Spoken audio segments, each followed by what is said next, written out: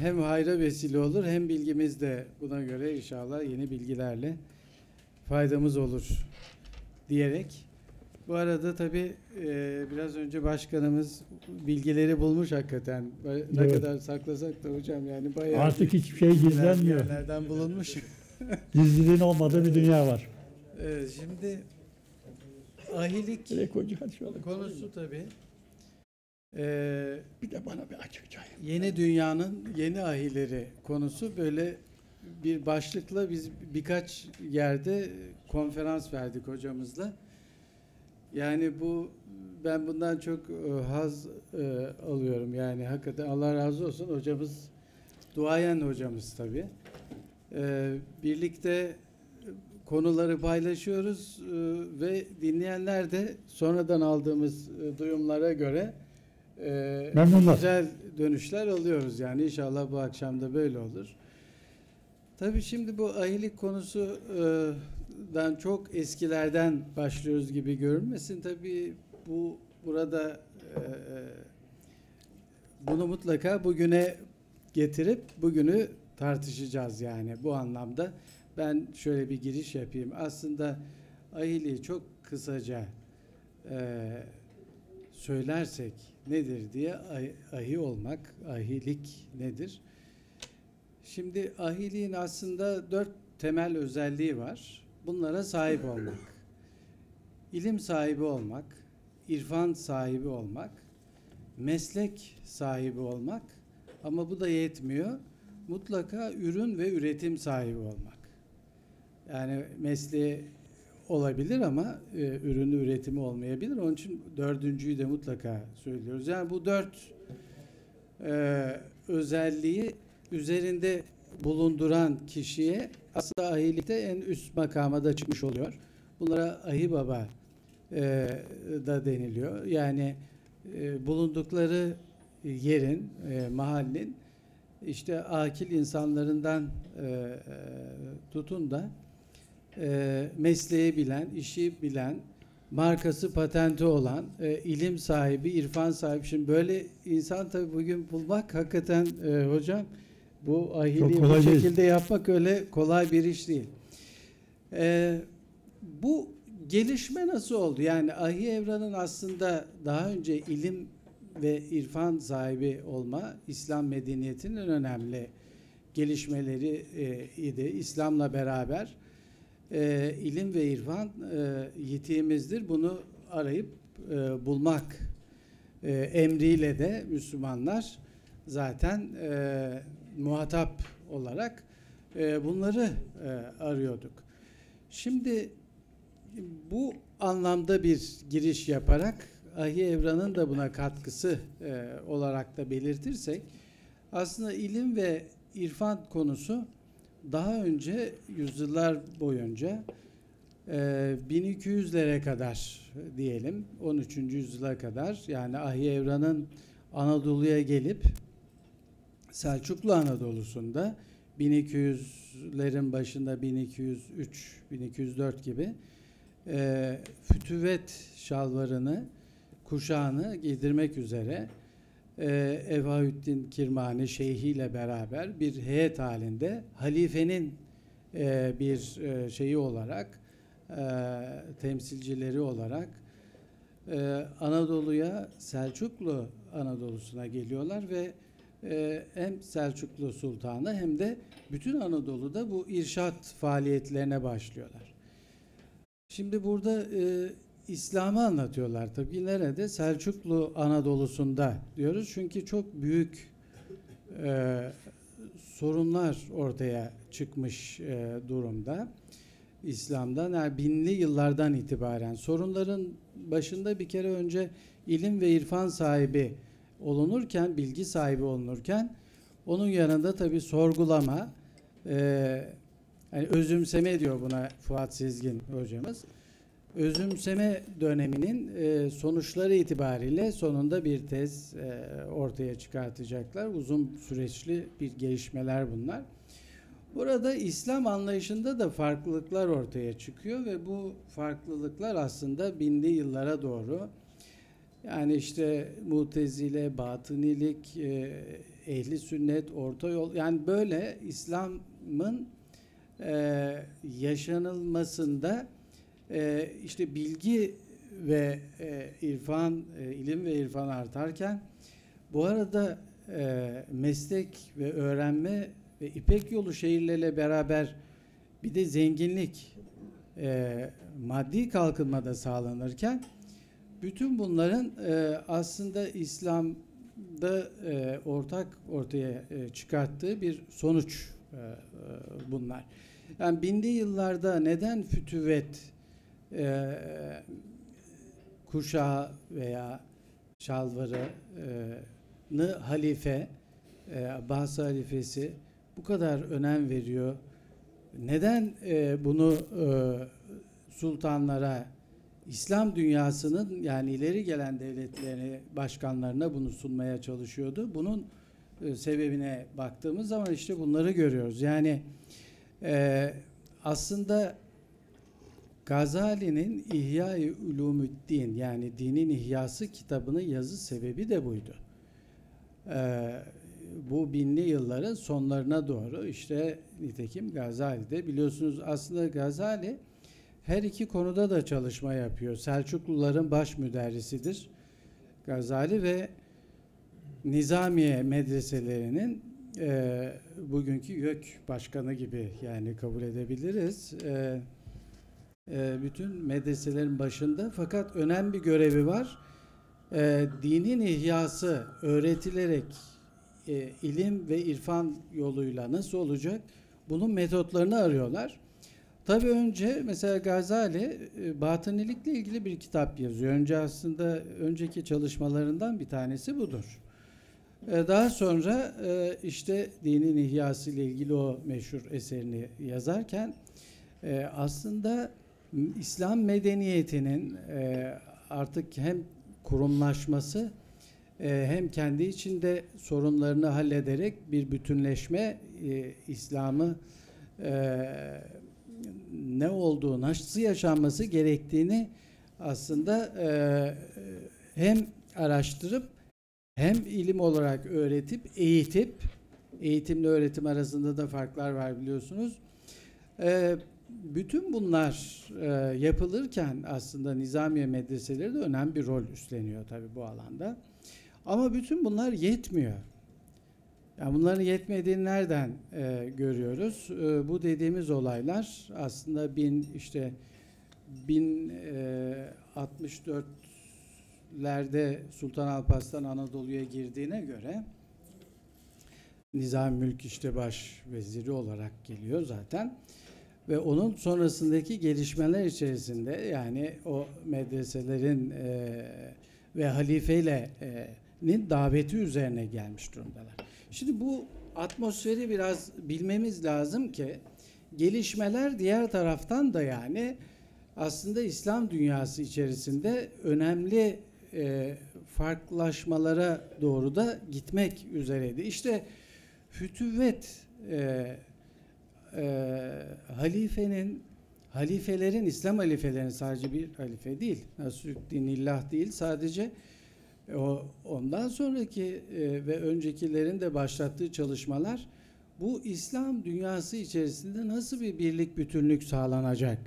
Yani bunu nasıl kuracağız? Yani bunları anlatırken bugünü de aslında atıf yapmış oluyoruz. Yani bugün de e, yine İslam dünyası aynı bölünmüş parçalanmışlığı kendi e, inanç e, yani hem İslam hem irfan hem meslek hem ürün sahibi yani bütün bunlarda e, bugün de günümüzün de en önemli sorunlarını yaşıyoruz biliyorsunuz. Böylelikle hani yeni dünya, yeni ahiller dediğimizde de e, bu daha önceki e, yaşananlarla e, ve onunla ilgili gelişmeleri e, bilmek, e, nasıl çözüldüğü üzerine fikir sahibi olmak, daha sonra da bunu e, bugün de yine ileriye yönelik e, uygulamamız lazım. Şimdi 1200'lerin başında Ahi Evran, halifenin e, işte e, şeyhiyle beraber bir e, e, bu tebliği yapacak e, bilen kişiler olarak bunlar içerisinde müderrisler var. İşte ilim adamı ve irfan sahipleri, tasavvuf, mutasavvıflar var. E, meslek sahipleri var. Şimdi Ahi Evran'ın bir farklı özelliği var. O özelliği de şu, bütün bunların içerisinde e, Fahrettin Razi'nin e, talebesi iken, yetişirken medresesinde orada e, sadece ilimde değil, irfanda da gelişmek istemiş ve e, bununla ilgili Ahmet Yesevi'nin talebelerinin e, tekkesine, zaviyesine gitmişti. Şimdi bunu kendi hayatı içerisinde anlatıyor. E, gittiğinde diyorlar ki peki e, işte kendisi önemli bir medresede e, talebe yetişiyor Fahrettin Razi'nin talebelerinden. Yani bir, seviyeden sonra oraya gelinebiliyor, kabul alınabiliyor. E, ve o ama şöyle bir niyeti var. E, yani ilim yanında irfan sahibi olmak çok önemli bir konu tabii. Onu da yapabilmek. Yani son derece önemli bir karar vermiş. Fakat e, zaviyede e, kendisine şey şöyle diyor. E, mesleğe girmen lazım. Meslek sahibi olman lazım. Sadece e, bizim önemli bir e, uygulamamız var. Ahmet Yesevi şeyhimizin koyduğu bir uygulama. E, meslek sahibi olmayabilirsiniz. Meslek sahibiniz değil. Peki. Ama mesleğe girmeniz lazım. Bu tekkeden faydalanabilmeniz için, müritlik yapabilmeniz için, şeyhin yanında onun derslerine katılabilmeniz için. Tabi bu çok şaşırtmış Ahi Evran'ı. Bunu söylüyor. Ee, çünkü yani bu ilişkiyi çok önce anlayamamış. Yani irfan sahibi olmak için meslek sahibi niye olması gerekiyor? Bunu çok çözememiş. Şimdi burada zaten Ahi Evran'ın aslında 1200 lira Anadolu'ya girdiği zaman Selçuklu Anadolu'sunda bütün baştan sona sonraki eserlerinde 20'ye yakın eseri var.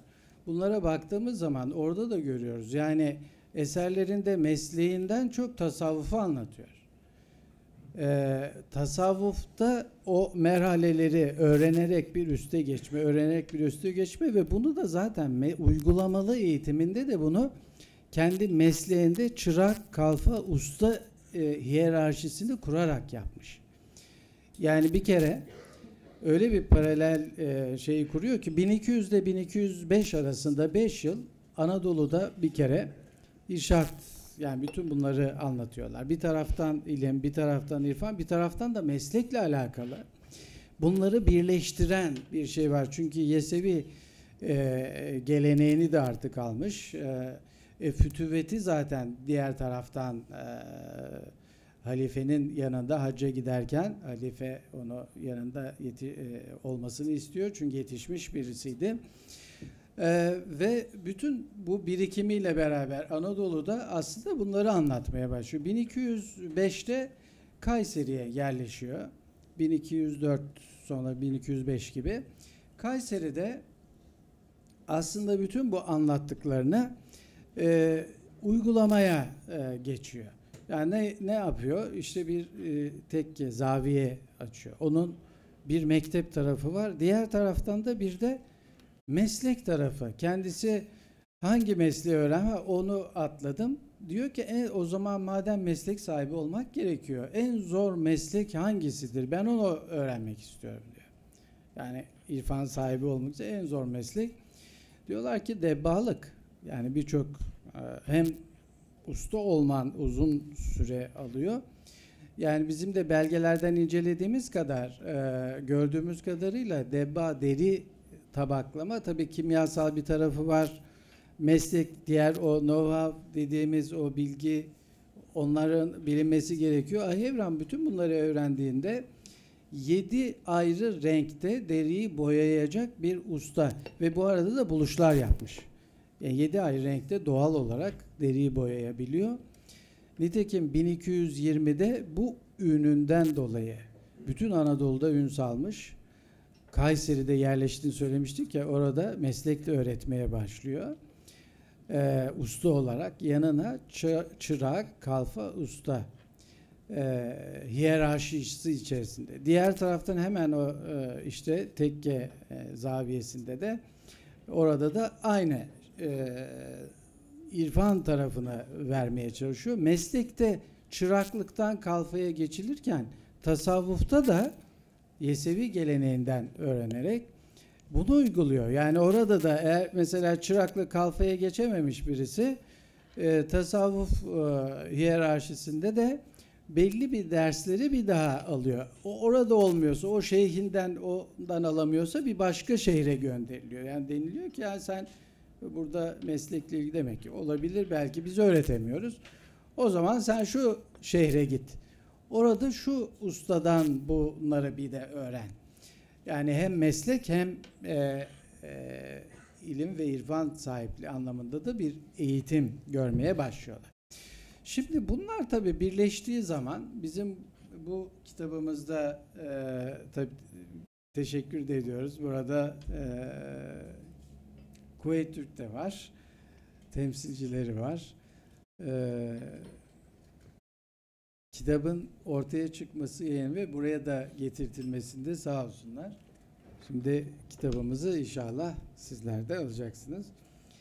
Ee, bu çalışmaların e, güncel bir şekilde artık elimize yani bu sonuçların gelmesi, tartışılması ve bu yayınlar önemli. Yani bütün bunları e, aslında bugüne getirip bugünden yarına ne yapmalıyızı da burada formüle etmemiz lazım. Yani bütün bunlar aslında günümüzde de aşağı yukarı İslam dünyası e, bütün bu bahsettiğimiz sorunları sanki bir iz düşümü gibi bugün de yaşıyor. Mesela şimdi Alamut Kalesi o zaman çok meşhurdu. E bugün de aşağı yukarı ona yakın bir yerde yine bir başka e, terörle uğraşıyoruz. Yani çok o kadar benzer olaylar var ki yani Alamut Kalesi bitmiyor.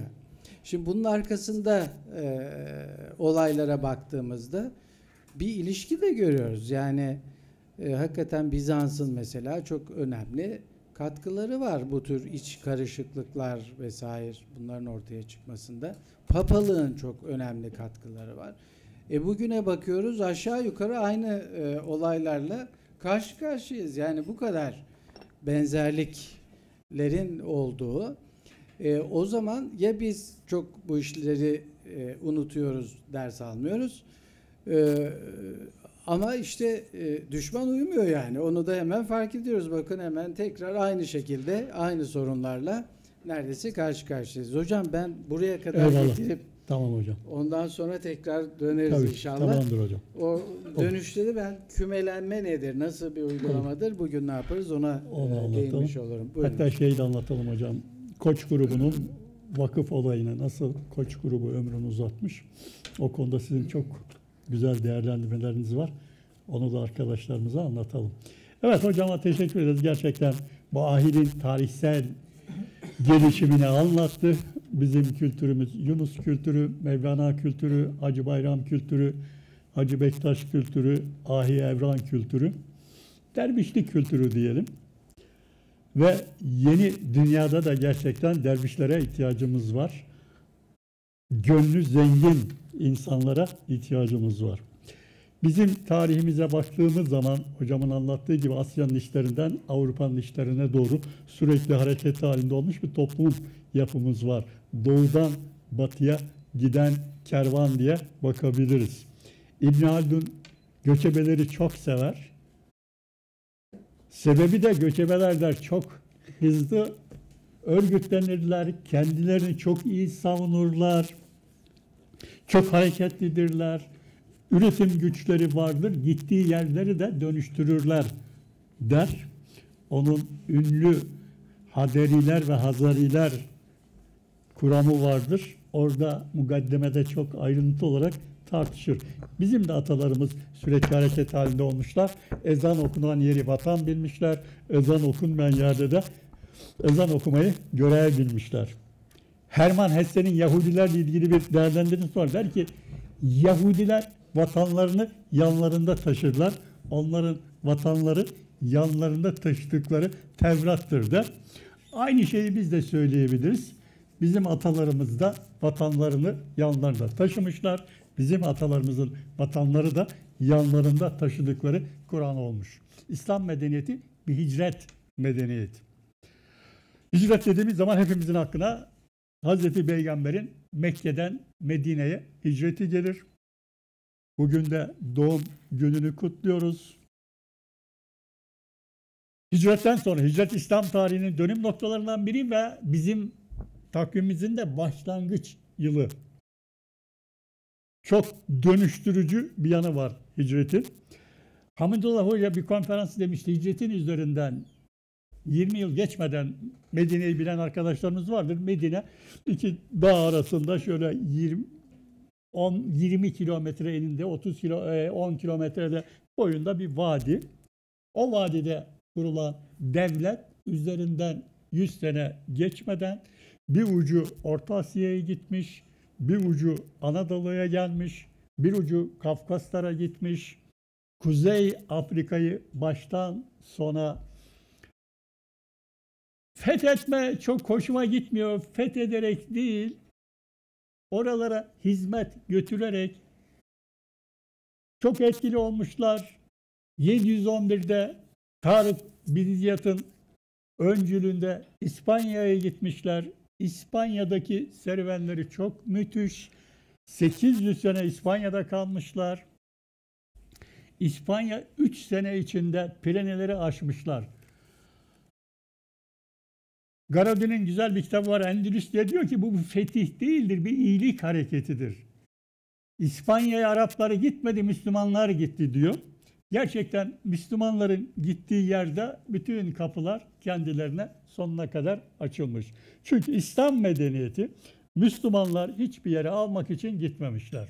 Bizim medeniyetimiz, bizim kültürümüz veren el kültürü. Alan bir kültür değil, veren bir kültür. Veren el olmak için de işte ahilik geleneğini çok canlı tutmak gerekiyor. İslam medeniyeti iki dünya medeniyeti. Kesinlikle ya dünya ya ahiret diyen bir medeniyet değil. Hem dünya hem ahiret diyen bir medeniyet. O yüzden canlılığı, dinamizmi buradan geliyor. Gittiği yerde üretimi hareketlendiriyor, adalet getiriyor.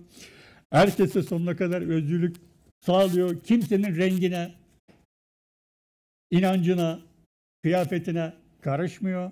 Sonuna kadar inancında serbest bırakıyor.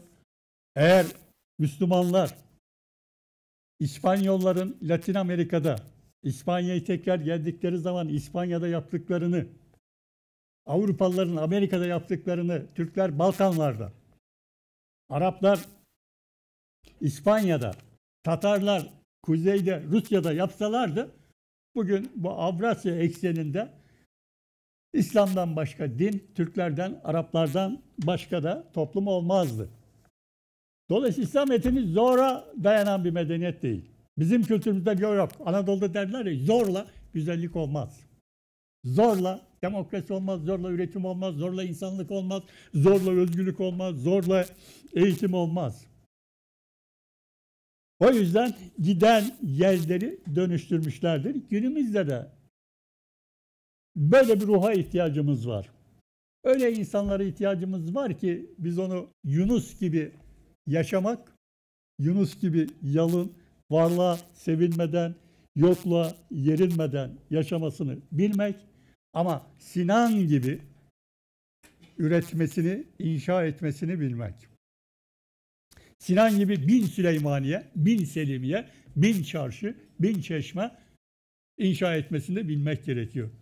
Yeni dünyada Müslümanlara düşen en önemli görev bu. Ahilik kültürü bu. Yeni ahiler Yunus gibi yaşamasını bilenler, Sinan gibi üretmesini bilenlerdir.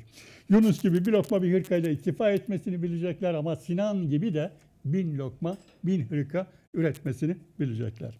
Sezai Karakoç kitaplarını hep vurgular. Onun e, Diriliş Neslinin Amentüsü de çok güzel bir kitabı vardır. O kitabı arkadaşlarımız mutlaka okusunlar. O çağdaş bir Medinetül Fazıla'dır, erdemli devlet tasarımıdır. Orada bizimler dünyayla rekabet etmemiz için üretimde bütün dünyayla doğru orantılı bir yarışa girmemiz gerekir. Tüketimde de ters orantılı bir yarışa girmemiz gerekir der. Yani tasavvufun, dervişlik kültürünün temelini söylüyor.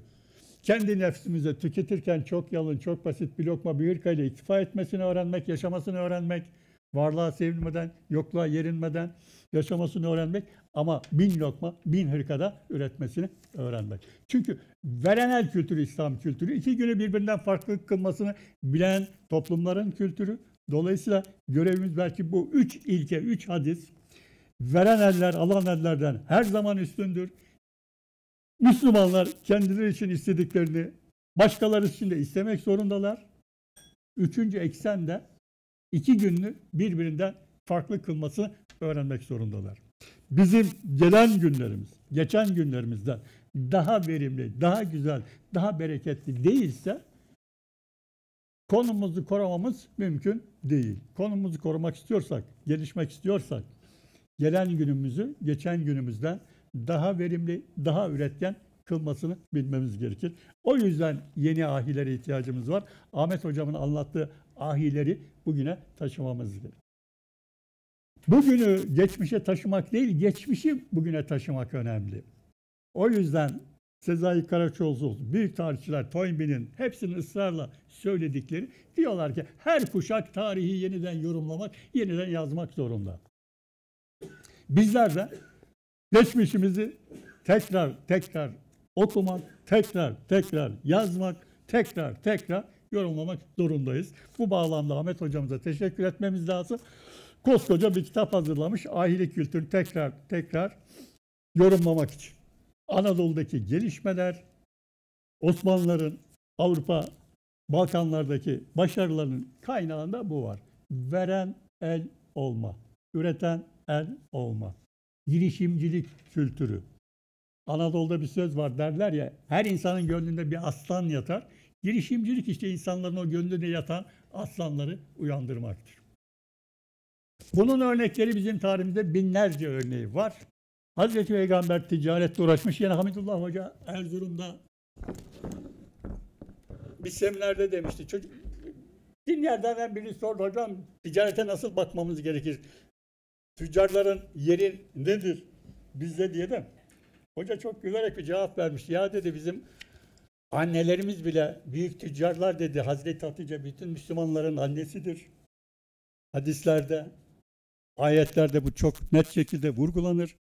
Dolayısıyla hepimiz tüccarız. Hepimizin ana dili Arapçadır. Hepimizin ana vatanı Mekke'dir demişti. Gerçekten Hazreti Hatice Mekke'nin en büyük tüccarlarından biri. Hazreti Peygamber ticaretle uğraşmış. İmam-ı Azam ticaretle uğraşmış. Ticaret hayatın özü. Ama ticarette dürüstlük de çok önemli. En büyük güç kaynağı da dürüstlük. Günümüzde de bütün doğudaki batıda ne kadar yönetim bilimleriyle, üretim bilimleriyle uğraşanlar varsa hepsinin ısrarla vurguladığı da bu. Dürüstlük en büyük sermayedir. Artık öyle bir toplum var ya, başlangıçta konuştuğumuz böyle gizliliğin olmadığı bir toplum var.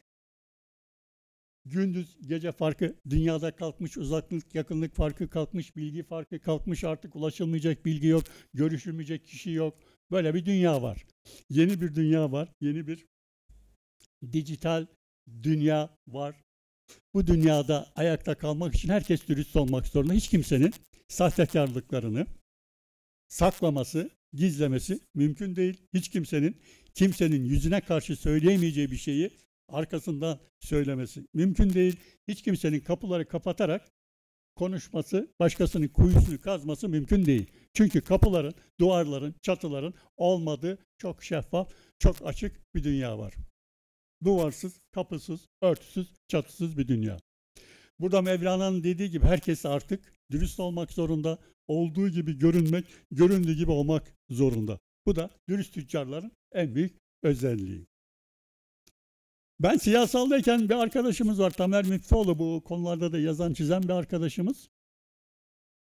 Ürdünlü bir öğrenciye İslam'da girişimcilik diye bir tez vermiş. Ya demiş git Nazif Hoca'yla da konuş. O bu konuları benden daha iyi biliyor. Onunla bir yol haritası çıkarın ona göre çalışalım. Öğrenci bana geldi. Hocam dedi ya ben iyiyim. Kur'an-ı Kerim'i de hadisleri biliyorum. Nereden başlayalım ne diyorsunuz diye konuşurken dedik ya şeyden başlayalım. Mekkeliler Medine'ye göç ettikten sonra, hicretten sonra çok güç duruma düşüyorlar. Ve Hazreti Peygamber'e diyorlar ki ne yapalım biz güç durumdayız. Hazreti Peygamber de ben diyor Mekkelilerin ve Medenilerin önde gelenlerin topluyor. Ben şimdi diyor bir Mekkeli ile bir Medeni'yi kardeş ilan edeceğim. Medineli malını, mülkünü ortaya koyacak. Mekkeli de birikimini, tecrübesini, bilgisini ortaya koyacak. Bu bir kardeşlik ortaklığı olacak. Karınızı da paylaşacaksınız. İşte Hazreti Peygamber'in eşi Hazreti Hatice ile yaptığı ortaklık böyle bir ortaklık. Bugün Allah rahmet eylesin Sabahattin Hoca hep söylerdi bu Silikon Vadisi'nin teknoloji şirketleri Microsoft, Dell, Facebook, Twitter ne kadar varsa hepsi yatsın, kalksın, Müslümanlara dua etsin. Çünkü onları bugünlere taşıyan Müslümanların kar zarar ortaklığı ya da mudarebe ortaklığı. Mudarebenin uzmanı arkadaşlarımız var, finansçılar var. Bu konularda çok çalışma yapan arkadaşlarımızdan biri de Murat Çizakça'dır. Onun sloganlaştırdığı bir söz var. Der ki İslam dünyaya muharebe yoluyla değil, mudarebe yoluyla yayılmıştır derdi. Gerçekten İslam dünyaya mudarebe yoluyla yayılmış ve mudarebeyi bugünkü risk sermaye şirketlerine dönüştürerek Amerikalılar en büyük devrimi yapmışlar. Apple'ı düşünün. Apple'ı kuran insan Suriyeli babanın oğlu Steve Jobs. Annesi Malatya'dan geçmiş bir, göç etmiş bir Ermeni ailenin kızı. Bir telefon geliştiriyorlar. Şirketin şu andaki piyasa değeri 1 trilyon doların üzerinde. Kasasındaki para Amerikan Merkez Bankası'ndan daha çok. Dolayısıyla artık iş yapmak bir sermaye meselesi olmaktan çıkmış. Günümüzde iş yapmak için para sahibi olmak gerekmiyor. Sanayi toplumunda olduğu gibi sermaye belirleyici olmaktan çıkmış. Toprak büyüklüğü belirleyici olmaktan çıkmış. Yeni toplumlarda, bilgi toplumlarında gücün kaynağı bilgi, proje. Anadolu'da bir söz var. Derler ki tabağınızda balınız olsun, arısı Bağdat'tan gelir. Dolayısıyla sizin böyle bir orijinal bir fikriniz varsa, feasible bir projeniz, bir düşünceniz varsa Ahmet Boğa'ya getirin. Size istediğiniz kadar finansman bulur. COSGAP'ten bulur, TÜBİTAK'tan bulur, Avrupa yatırım fonlarından bulur, Amerika'dan bulur, Çin'den bulur, Hindistan'dan bulur, dünyanın her yerinden bulur. Önemli olan sermaye değil. Sermaye belirleyici olmaktan çıkmış. Belirleyici olan farklı olmak, yeni olmak, yenilik yapmak, sıra dışı olmak diyelim ona. Sıradan insanlardan sıra dışı fikirler gelmez. O yüzden dünyanın bu konuda önde olan insanlara baktığımız zaman hepsi sıra dışı insanlardır. Sakıp Sabancı üniversite kurarken Şerif Mardin'e sormuş hocam demiş üniversite kuruyoruz ne tavsiye eder? Şerif Mardin de demiş ki ya üniversite kuruyoruz demiş sakın ha üniversiteyi böyle aklı başındaki profesörlerle doldurma. Dünyanın her yerinde üniversiteler, üniversite yapanlar sıra dışı uçuk hocalardır. Bir iki tane de onlardan bul demiş. Sadece üniversiteler için değil, şirketler için de böyle, finans kuruluşları için de böyle, bütün kurumlar, kuruluşlar için de böyle biraz sıra dışı, uçuk, farklı düşünmesini bilen insanlara ihtiyaç var. Dünyanın her yerinde yenilikler farklı olmasını bilen insanların arasından çıkar. Yoksa ağalar beyler birbirini ağırlar denilir Anadolu'da. Birbirimizi ağırlayan insanların arasından farklı bir düşünce çıkmaz. Bunu yapmak için nasıl yürüyeceğiz? Bu ahiret kültürünü nasıl bugüne taşıyacağız? Ticaret kültürünü, girişim kültürünü nasıl geliştireceğiz? Biz de bu konuları aslında Prens Sabahattin'den beri tartışılıyor, Tanzimat'tan beri tartışılıyor. Gençmişte çok güzel uygulamalar var. Onlara unutmuşuz. Onların bugüne taşınması gerekiyor. Oradan bugüne örnekler taşımamız gerekiyor.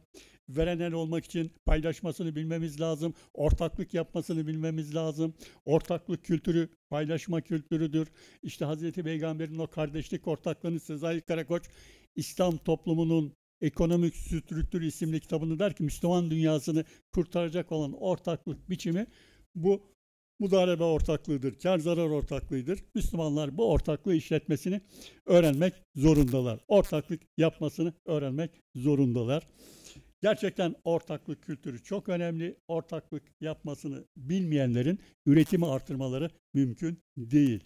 Onun için bütün dünyada şirketlerin kurumsallaşması tartışılıyor. Dünyanın her yerinde.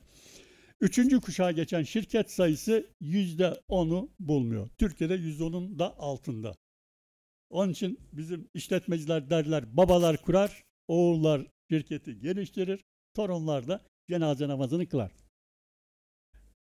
Dolayısıyla uzun ömürlü olmak istiyorsak, şirketleri dördüncü kuşağa taşımak istiyorsak, artık lider odaklı, kişi odaklı olmaktan çıkıp ilke odaklı, kurum odaklı olmaya dönüşmek lazım.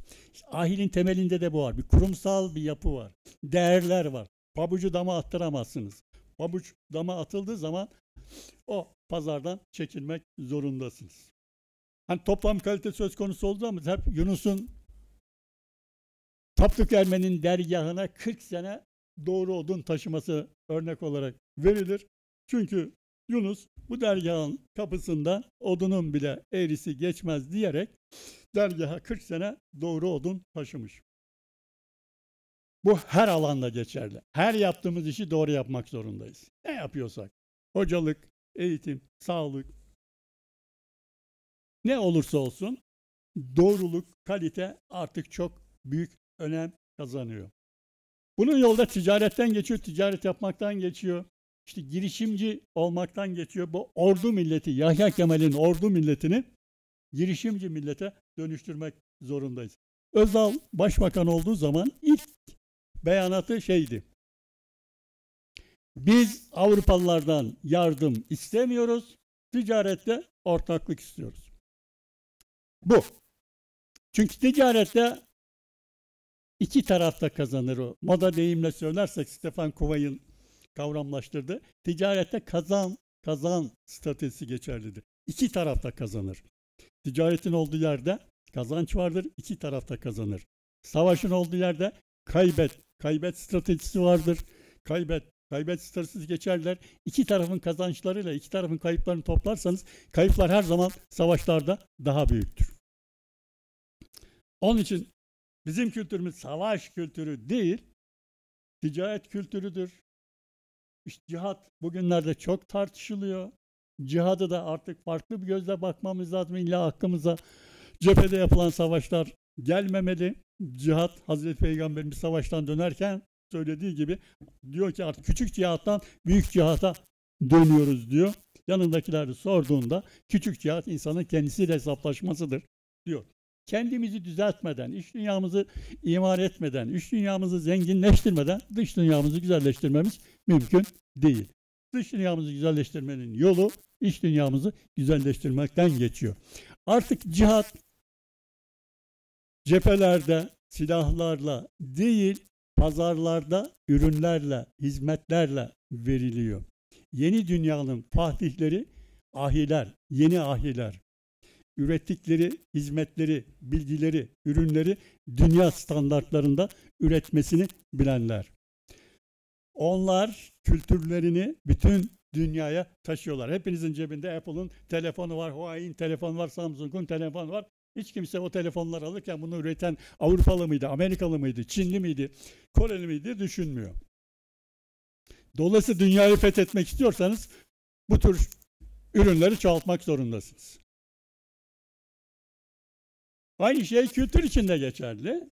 Dünyanın hiçbirinde Shakespeare'e, Goethe'ye, Mevlana'ya kimse pasaport sormaz. Onlar bütün dünyayı pasaportsuz, vizesiz dolaşırlar. Kalite pasaport taşımaz, dürüstlük pasaport taşımaz, iyilik pasaport taşımaz, güzellik pasaport taşımaz, verimlilik pasaport taşımaz, veren eller hiçbir zaman pasaport taşımaz. Dünyanın bütün kapıları onlara sonuna kadar açıktır. O yüzden İspanya'nın kapıları sonuna kadar Müslümanlara açılmıştır. Balkanların kapıları sonuna kadar Türklere açılmıştır. Kuzeyde Rusya'nın kapıları sonuna kadar Kuzeyli Türklere açılmıştır. Yeniden böyle bir savaşa ihtiyacımız var. Yeni bir paradigma moda deyimle söylersek yeni bir paradigmaya ihtiyacımız var. Yeni ahilere ihtiyacımız var. Yeni ahiler de geçmişin ahileri gibi iki dünyayı altın oranda harmanlamak zorundalar. İki dünyayı bir bütün olarak görmek zorundalar. Her alanda Mevlana'nın dediği gibi eski satanların zamanı geçti. Biz yeniler satıyoruz. Bugün pazar bizimdir diyor. Yeni satmak nedir? Nasıl yeni olacağız? Her gün yenilenmek nedir? Yenilenmenin olmadığı yerde gelişme olmaz. Yunus'un dediği gibi her gün yeniden doğmak. Her gün yenilenmek. Mevlana'nın dediği gibi yeni sözler söylemek, yeni şeyler söylemek. İşte bu çok ciddi bir iç zenginlik gerekiyor. Yeni dünyanın yeni ahileri akılları hem başlarında olanlar hem gönüllerinde olanlar. Başlarındaki akıllarıyla ufuğu görecekler, gönüllerindeki akıllarıyla da ufuk ötesini görecekler. O zaman dünyanın bütün kapıları sonuna kadar bize açılır. Hiç kimse bize bize sormaz. Hiç kimse bize pasaport sormaz. Dünyanın her yerinde oluruz. Dünyanın neresinde olursak orada bizim kültürümüz olur, bizim değerlerimiz olur, bizim mutfağımız olur.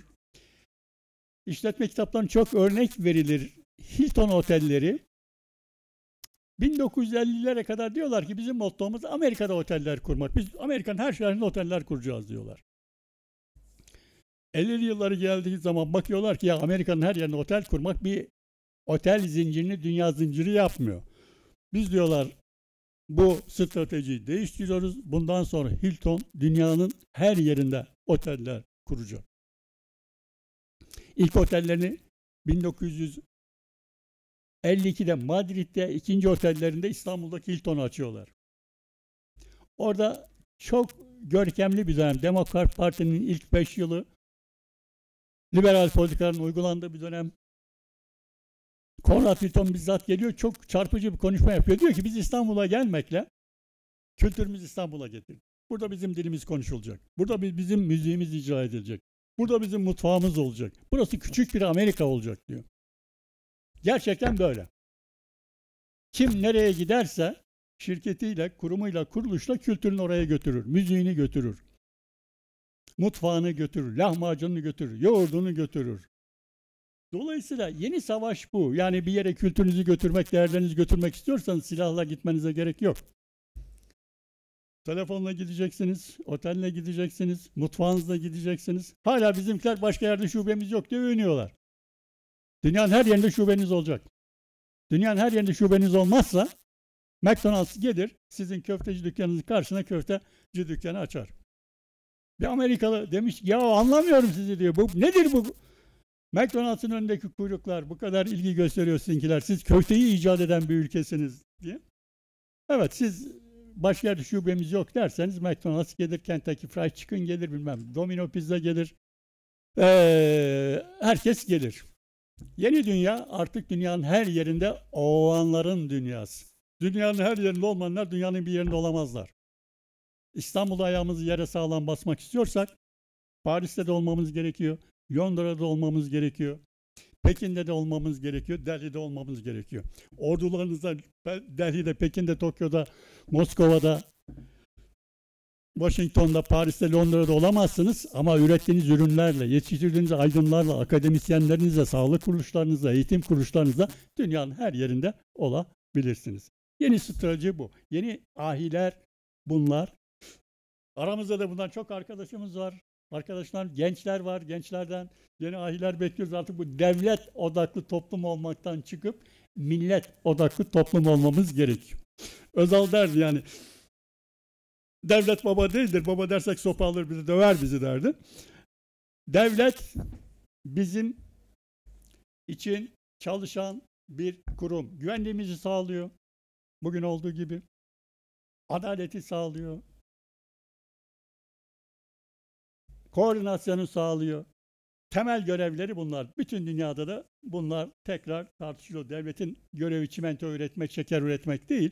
Devleti çok kontrol etmek mümkün değil. İbn Haldun yine bu konuda çok önemli. Marx'tan, Adam Smith'ten çok daha önce bu konularda çok önemli analizler yapmış biri. O diyor ki devlet ticaret yapmamalı. Devlet ticaret yaparsa Haksızlıkların, hukuksuzlukların önünü geçmeye kimse eee mani olamaz. Çünkü devlet hiç kimse rekabet edemez, yarışamaz. Anadolu'da derler o yüzden devletle ve damatla kavga edilmez derler. Devletle ve damatla kavga edilmez. Devletle kavga etmenin yolu yaptığınız işi çok güzel yapıp bütün dünyaya taşımaktır. Zaten devlet her işe yüzde 40 vergiyle ortak içtiğimiz sudan da vergi alıyor. Efendim yediğimiz ekmekten de alıyor, aldığımız bindiğimiz arabadan da alıyor. Devlet her yerde var. Dolayısıyla bundan sonra belki devletin görevi işte girişimci kültürü geliştirmek. Bugünkü yönetim de bu konuda çok önemli adımlar atmaya çalışıyor.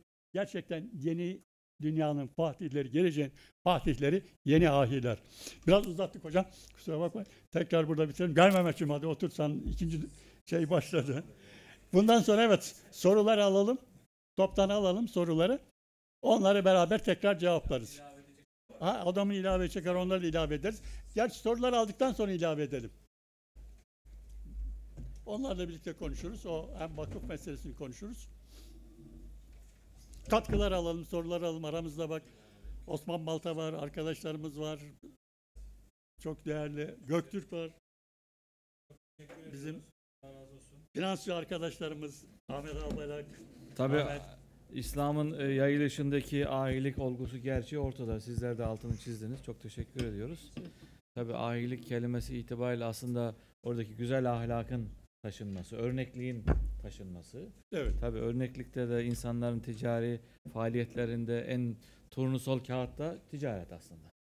Oradaki turnusol kağıdını imtihanı geçen insanlar ta Çin'den e, kuzeye kadar İslam'ı e, kılıçsız bir şekilde taşımışlar. Kılıç olayı da olayı tamamlamış diye düşünüyorum. E, dolayısıyla çok teşekkür ederiz. Ağzınıza sağlık. Katkısı ve sorusu olan arkadaşlara sırayla böyle el kaldırırsanız hoş geldin Muhasıroğlu bu arada.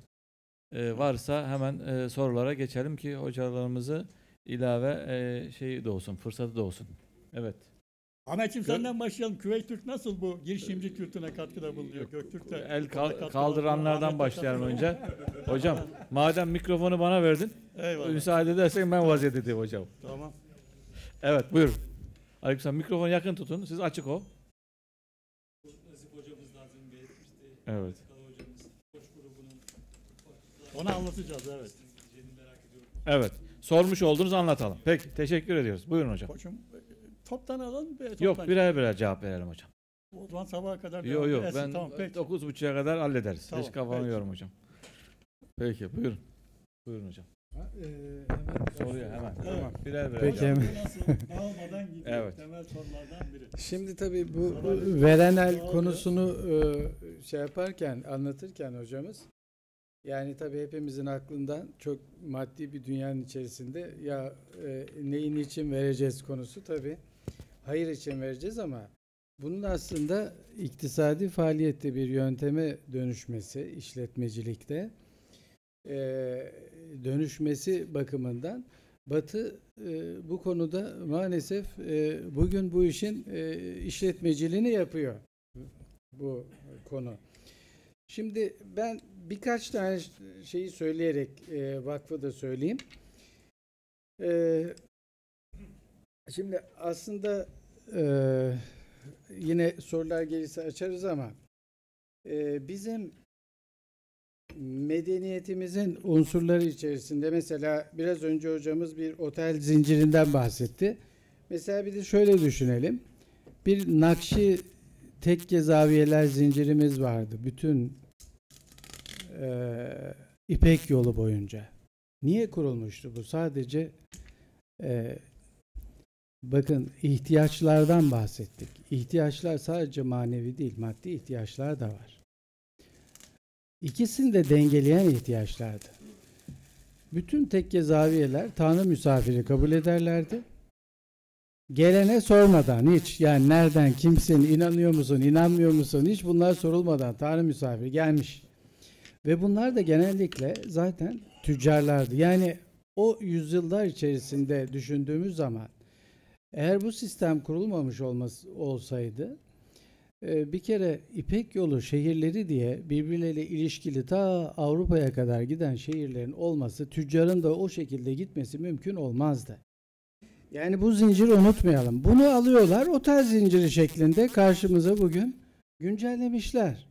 Yani çok benzer o tabii yani hani o yol üzerindeki güzergahları bir baktığımız zaman yani kervansaraylar bunun yine daha maddi görünen bir tarafı ama ıssız diğer yer yani her menzilde her konaklama yerinde mutlaka tekke zaviyeler kuruluyor.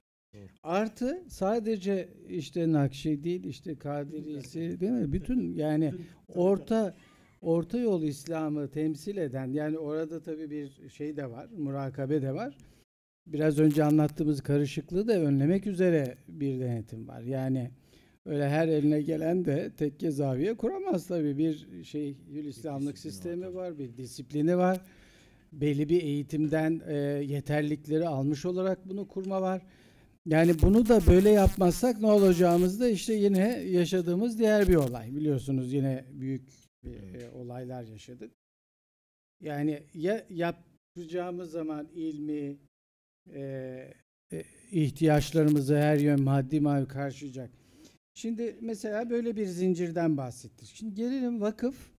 Bakın bu örneği tabii hocamız özellikle e, e, vur- vurgulamak istedi. 1950'de şimdi hem günümüze de biraz girmiş olalım.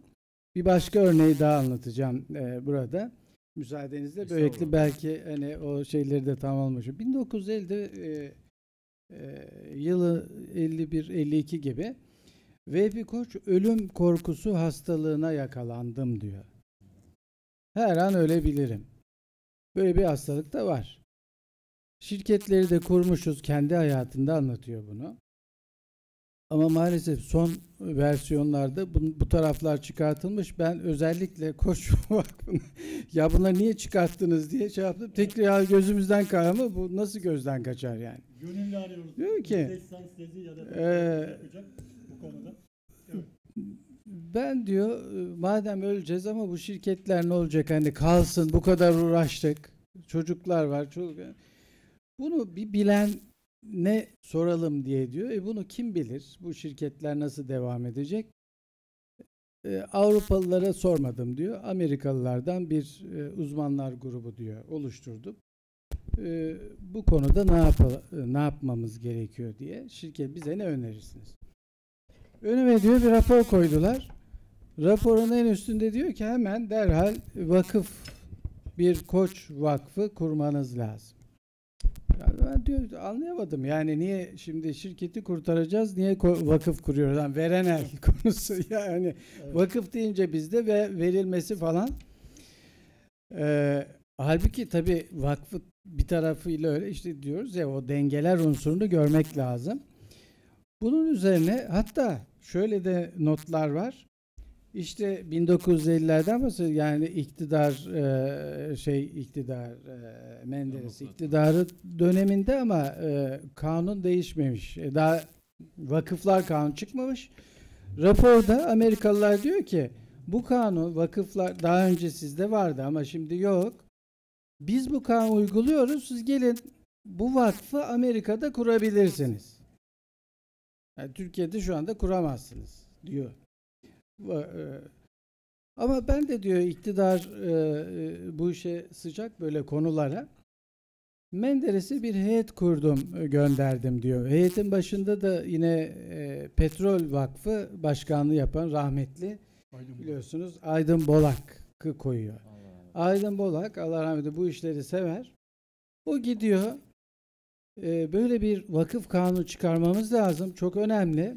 Şirketlerimiz bile geleceğe buna bağlı. Peki şirketle alakalı tarafını tabii koç e, bu anılarını anlatırken çok o tarafa girmemiş. Anlatmış yani olayı. Bugün ben şunu vurgulayayım. Yani her Amerika'da orta ölçüye ulaşan şirketin bir vakfı var. Biz İslam dünyası vakıflardan vazgeçti. Yani bir araya gelip vakıflar kuruyorlar ama vakıf biliyorsunuz kendi e, e, işte bu şekilde maddi ve manevi o dengeyi kuracak şekilde olması lazım. Aslında e, bunun ihtiyaçların karşılanması konusuyla alakalı olarak baktığımız zaman çok önemli ihtiyaçları karşılıyor. Yani şirket varlığını mesela Koç buradaki şeyinde uygulamasında ben bir örnek yani merak uyandırır diye 25 gibi vakfa devretmiş bütün şirketlerinin hisselerini. Vakıfa devredilen e, hisseler alınıp satılamıyor. Orada yönetimle ilgili e, şeyleri de belirlemiş. Yani Koç Vakfı, Koç Eğitim Vakfı'ndan bahsetmiyorum. Orada ayrıca kurulmuş bir vakıftır. Ee, şöyle söylüyor e, raporda diyor ki siz işte bir vakıf kurun aileniz o vakıfta olsun e, şirketlerin denetimini hisseder olsun ve vakıf daima şirketlerde bir pay sahibi olsun. Yarın alacak olanlar da onu o payla e, e, almalarını düşünürler ve yine şeyde kalır. Yani bir- biraz da o şey gibi. E, Hani şirketi alacak yüzde yüzünü alamıyor çünkü bir vakıf hissesi var. Dolayısıyla alamayınca da e, duruyor. Aile yine e, bir nevi yönetip daha iyi yönetip ve devam ettirmede böyle e, kaideler oluşturmuşlar. Ama vakıf Evet. çok önemli bir devamlık sağlıyor. Şimdi ben diğer bir örnek daha vermek istiyorum. Çin'de e, bugün uzak doğuda kümelenerek üretim modeli dediğimiz kobi kümelenmelerini kullanıyor. Şimdi Ahi Evran'ın bu kümelenme modeli, bu kitapta baştan sona anlatmaya çalıştığımız modeldir. Ee, ihtiyaçların karşılanması anlamında e, çok önemli tespitlere dayalı olarak bu modeli geliştirdiğini görüyoruz. Bunu kendi eserlerinde anlatıyor. Şimdi ilk çağdan elimizde kalan eserler işte biliyorsunuz eski Yunan, Grek eserleri. Onlar şunu tespit etmişler ilk çağda. Ee, insanlar ihtiyaçlarını karşılamak için toplu halde yaşarlar ve topluluklar niye toplu halde yaşar? Çünkü ihtiyaçlarını karşılamak için. Zorunlu yani. Toplu halde yaşama. Dağ başında yaşarsa o kadar ihtiyacı karşılayamayacak. Bunlar onu bulmuşlar ama İslam dünyası orta çağ da başlayan bu gelişme ihtiyaçlarla ilgili çok daha ileri bir şeyi bulmuş. O da ihtiyaçların karşılanması için bakıyorlar yani diyorlar ki e, eğer ihtiyaç insanlar ihtiyaçları karşılamak için toplu halde yaşıyorlarsa e sadece in- insanların ihtiyacı yok ki. Niye hayvanlar toplu halde yaşamıyor? Onların da ihtiyacı var. Yani böyle sorular başka şeylerle konuyu açıyorlar ve sonunda şuraya varıyorlar. Allah insanları medeni, toplu halde medeniyet anlamı medeni yaratmıştır. Bundan da bir murat var o zaman bu medeni toplu halde yaratmak. Çünkü Allah insanları diğer taraftan muhtaç yaratmıştır. Muhtaç ve medenilik arasında ilişki kurularak ihtiyaçlarını karşılamak o zaman için insanlar o zaman öyle topluluklar oluşturmalı ki o topluluklarla ihtiyaçlarını daha iyi karşılasınlar. Şimdi zaten bugün de biz neyi kıyaslıyoruz? İşte Türkiye e, nerede, Amerika nerede? Yani bunlar hep topluluklar işte ekonomik birimler, milletler, uluslar bunlar e, kıyaslamamız hep bunun üzerine. Şimdi Ahi Evran'ın buradaki buluşu şu. Zaten kümenek dediğimiz o. Madem ki insanlar medeni ihtiyaçlarını karşılamak için topluluk halinde yani böyle bir e, burada bir hikmet var. O zaman ihtiyaçlarını insanlar karşılarken bu ihtiyaçlar nedir? Nasıl karşılarlar? Mesela Biruni'den itibaren daha önce Farabi de bunun üzerine çok çalışmış. Kindi'nin çalışmaları tabii onları unutmamamız lazım. Yani bütün İslam düşünürlerine baktığımız zaman onlar diyorlar ki ihtiyaç e, Allah insanları medeni yarat. Hepsinde bu e, tespit var. E, ihtiyaçlarını karşılamak. Bu ihtiyaçları da helalinden karşılamak muradı var. Yani ihtiyaçlarını karşı helalinden karşılayacak. Yani öyle konuyu rafine bir yere indirmişler ki o topluluk helalinden ihtiyaçlarını karşılamak için o e, e, faaliyette bulunacak. Peki ne yapacak? İlim ihtiyaçları karşılamanın yolu. İlim ilmi geliştirecek. İrfan ihtiyaçları karşılamanın bir yolu. Maddi manevi ihtiyaçları var çünkü insanların. Mesela onun üzerinde çok çalışmışlar. Ama yani tasavvuf ve irfan yönü üzerine çok eser var gerçekten. Fakat şunu unutmayalım. İlk İslam doğuşundan itibaren kesp, kisp, kar üzerine de çok çalışmalar vardır. Yani bu Kasibi Habibullah yazar. şeyde. Değil mi? Yani evet, yani bu yani maddi ve manevi e, ihtiyaçlar bunlar. Çünkü bunlar nasıl karşılanacak? Bunlar üzerinde e, çok çalışılmış, çok yüzlerce binlerce eser yazılmış. E, ve bunlardan faydalanılması e, tabii e, e, gelişmeler. Yani ilim ihtiyacıyla e, insana ihtiyacı nasıl ilim ilim ihtiyacı karşılamanın bir yolu. İrfan ihtiyacı karşılamanın başka bir yolu. Ama bunlar birlikte olacak yalnız.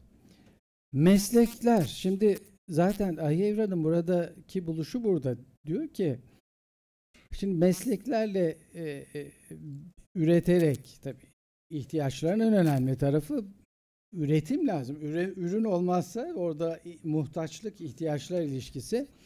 Bugün aslında biliyorsunuz iktisadın da temelinde bu var ama bazı hatalar var. Şimdi biz iktisatta özellikle Avrupa e, merkezli iktisatta insan ihtiyaçları sonsuzdur. Büyüme kaynaklar sınırsızdır. kaynaklar e, Sınırsızdır. kıttır. Hı hı. Bu kıt kaynaklarla bu sonsuz ihtiyaçları nasıl karşılar? Şimdi Müslümanlar ama şöyle diyorlar. İhtiyaçlar değil, İstekler sınırsız. ihtir, ihtiraslar sını, sonsuzdur, sınırsızdır. İnsan eğer helalinden ihtiyaçları kazanıp yapacaksa o zaman o kaynaklarla o işte ihtiyaçlarını eee, şey yapacak yani o helal şeyi de gözeterek ihtiraslarına da kapılmayacak. Yani bu arada Evet. ihtiyaçlar mı, ihtiyaçlar mı bu Aç yanılgıyı gözlülüğü da büyütmeyecek. Bu yanılgıyı da şey yapmamız lazım. Tüketimde Yunus, üretimde Şimdi- Sinan dedi ya üstad oradan. Evet. Burada bir kümelenerek üretim modeli, çok teknik tarafına şimdi girmiyorum yani kısaca belki soru olursa gireriz ama e, özellikle o zamana kadar ferdi üretim yapılıyor. Bunu sanayi birliği haline getirerek yeni bir ölçek ortaya çıkartıyor. Aslında üç tane üretim ölçeği var. E, ilki bu sanayi de işte Anadolu sanayi devrimi bunun için söylüyoruz. Yeni bir ölçek ortaya çıkartmış. Ölçeği büyüttüğünüz zaman üretim ölçeğini üretim artışı sağlıyor, verimlilik sağlıyor ve bu tabi ürün artışı sağladığı için bir bollaşma ve dolayısıyla bir iktisaden de bir devrim meydana getiriyor. Bir dükkanla çarşı olmaz. Temel mantık o. Yani burada birlikte e, bir kümelenme modeliyle üretimi Pazar. aslında o ihtiyaçları da gözeterek bütün ihtiyaçları da karşılayacak. Hatta yerelin ihtiyacını karşılayıp dışarıya da ihraç yani bölge dışı, şehir dışı. Şimdi böyle bir model geliştirerek bunu yapmış. İlk ölçek. Sonra ikinci ölçekte e, 1750'de e, İngilizler fabrika ile e, bu birinci aça- aşan bir ölçek keşfettiler. Ve onlar da ona sanayi devrimi tabi ismi doğru. Yeni bir ölçek, daha büyük bir ölçek ve e, sanayi devriminin ama ikinci evresi bu. Yani maalesef işte biz bütün kitaplarda Batı kendini merkeze koyduğu için 1750'den sonra sanayi devrimi başlamıştır gibi bütün eserlerde hocam değil mi? Bütün şeylerde böyle. Evet. Ama bizim şimdi bunları düzeltmemiz lazım. Yani sanayi devriminin ikinci evresidir bu. Evet ikinci bir ölçektir büyük bir ama şimdi biz bu ölçeği şimdi e, niye daha iyi kavrayabildik bu gelişmeyi? Şunun için bugün uzak doğuda olan üçüncü bir ölçek keşfedilmiş durumda. Bunu da iyi kavramamız lazım. Bu ölçeği uzak doğudaki bu ölçeği Çin merkezli olarak Kobileri bir araya getirerek yeni bir ölçek ve fabrikayı da aşan Kobileri bir araya getirip öyle bir e, merkezi e, yönetim e, daha doğrusu Kobi e, küme yönetim merkezi. Devleti kastetmiyorum. Devlet yönetmiyor yani. Öyle bir şey yok.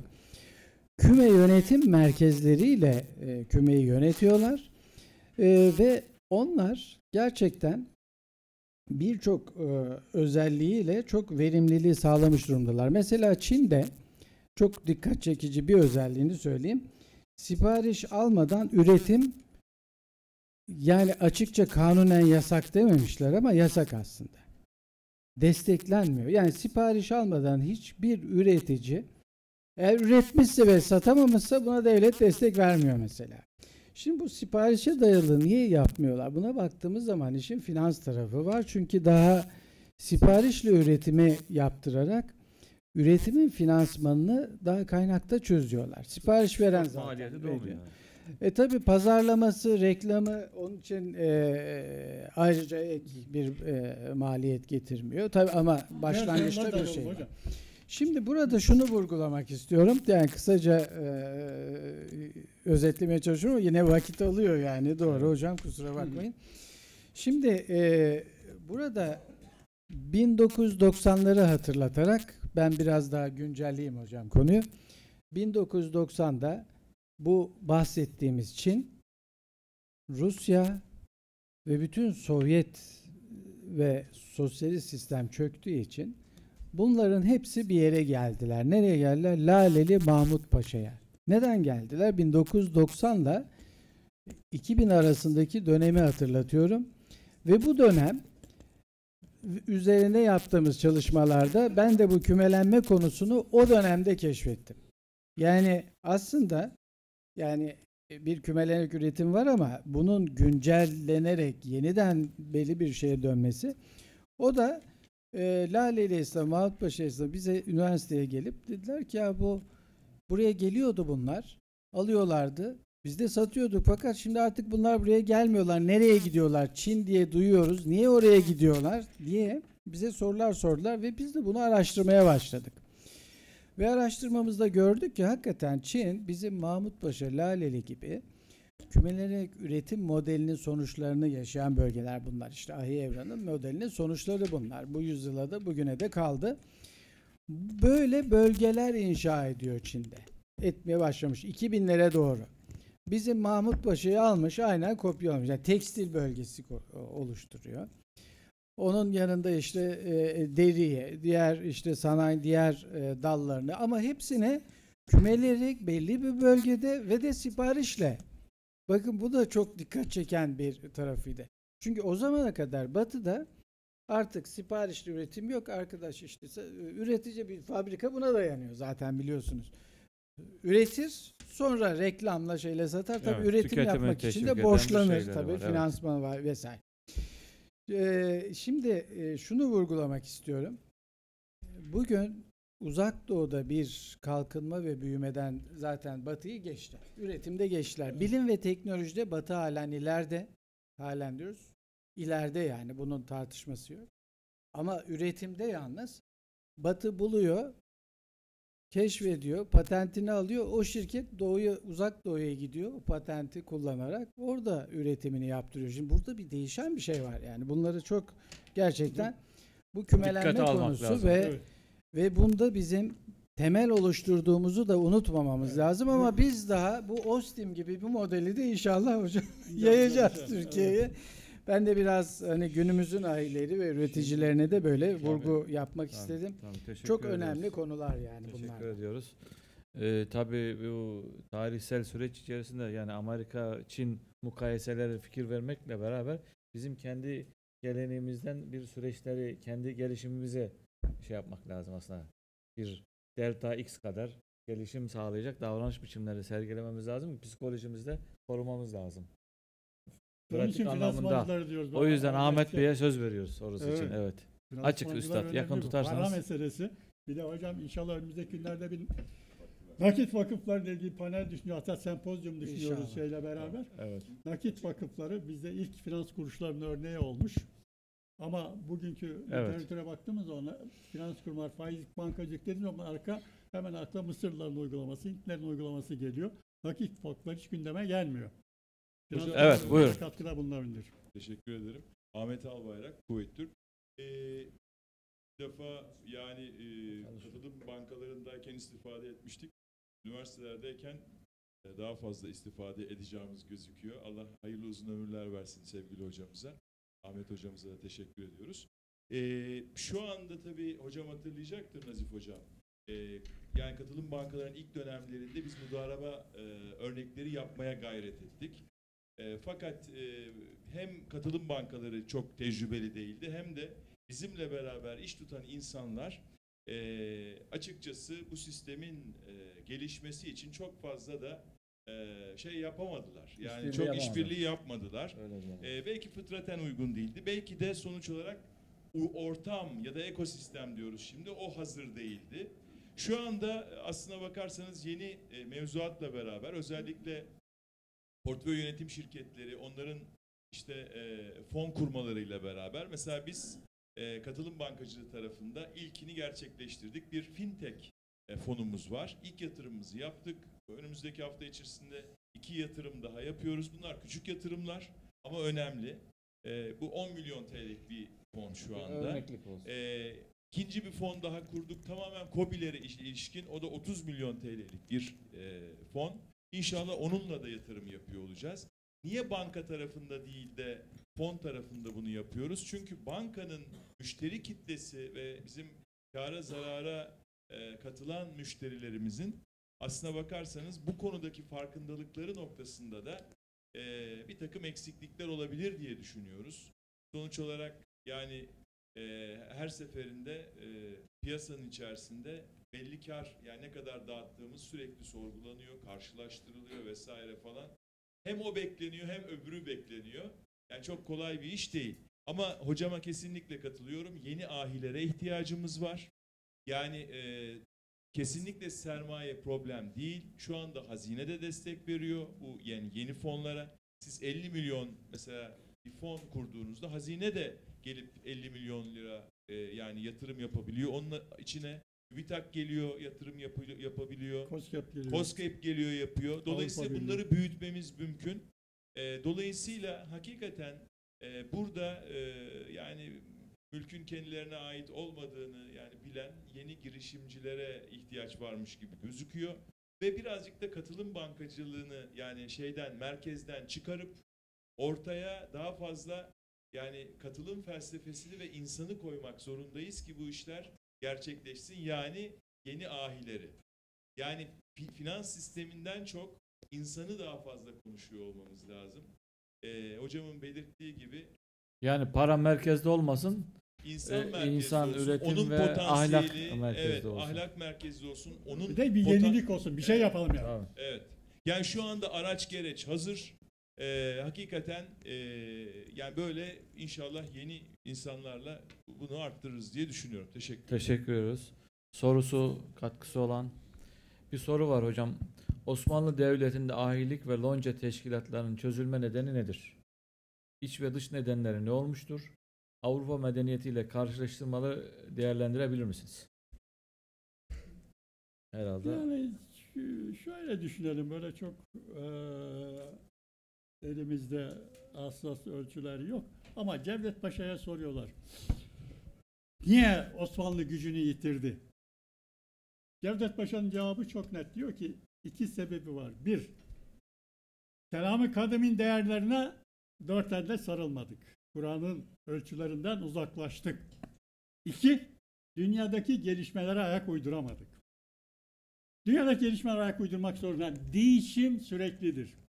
Değişime direnilmez, değişim yönetilir. Bir kurum, bir kuruluş ne kadar çok değişirse o kadar kendisini koruyabilir. Kendimizi korumak istiyorsak iki günü birbirinden farklı kılmak zorundayız. Hadis bu. İki günü birbirine eşit olan zarardadır. Durumunu koruyamıyor demektir. Dolayısıyla bütün kurumlar, bütün kuruluşlar ister Mavera Vakfı olsun, ister Küveyt Finans olsun, ister benim bulunduğum Maltepe Üniversitesi ister hocamın üniversitesi olsun, İstanbul Üniversitesi olsun, bütün kurumlar, bütün kuruluşlar sürekli kendilerini yenilemek zorundalar. Mevlana bunu çok güzel anlatır. Eski satanların zamanı geçti, biz yeniler satıyoruz. Bugün pazar bizimdir derken nasıl yenili olur? Dünde kalmak değil, yarına bakmak. Geçmişte kalmak değil, geleceğe bakmak. Şimdi yeni dünyanın tarım toplumlarında toplumların merkezinde çiftlikler vardı. Tarım işletmeleri vardı, insanlar vardı, iş gücü vardı. Tarım toplumları sanayi toplumlarında evrildi. Sanayi toplumlarının temelinde fabrikalar var ve sermaye var. Şimdi yeni bir toplum var bilgi toplumu. Bu toplumların temelinde de bilgi var, insanlar var. Kapalı kızlar var, küpeli gençler var. Onlar bir düşünce, bir fikir geliştiriyor, bütün yapıyı değiştiriyor neredeyse. Google'u kuran adamlar iki tane küpeli genç. Biri Rus, biri Amerikalı. Doktora yaparken Stanford Üniversitesi'nde tanışmışlar. Hocaları destek olmuş ve Google'u kurmuşlar. Google'un cevap vermediği şey yok. Bütün eğitimi değiştiriyor neredeyse. Böyle bir yapı var dünyada. Bizim buna ayak uydurmamız lazım. Yani geçmişe takılmadan geleceğe bakmak. Kurumlarımız nasıl? Muhaveran nasıl? Her ne kadar bizim adımız Mavera, Mavera'nın söz hakkı bizimdir ama isim hakkı verdik arkadaşlara. Mavera dergisi bizim dergimizdir. Yedi güzel adamın dergisidir. O derginin yedi tane kurucusu vardır. İşte üstadım biz, biz geleneğe saygı göstererek, sahip çıkarak Evet, değişime dönüşüme eyvallah. tabi Eyvallah. tutuyoruz. İşte Sizin yolunuzdan gidiyoruz. İşte burada fikri haklar, mülkiyet hakları çok önem kazanıyor. Geçenlerde biri diyordu bu fikri haklar, mülkiyet hakları Amerika'da bu kadar güçlü olmasaydı Bill Gates çıkmazdı diyor.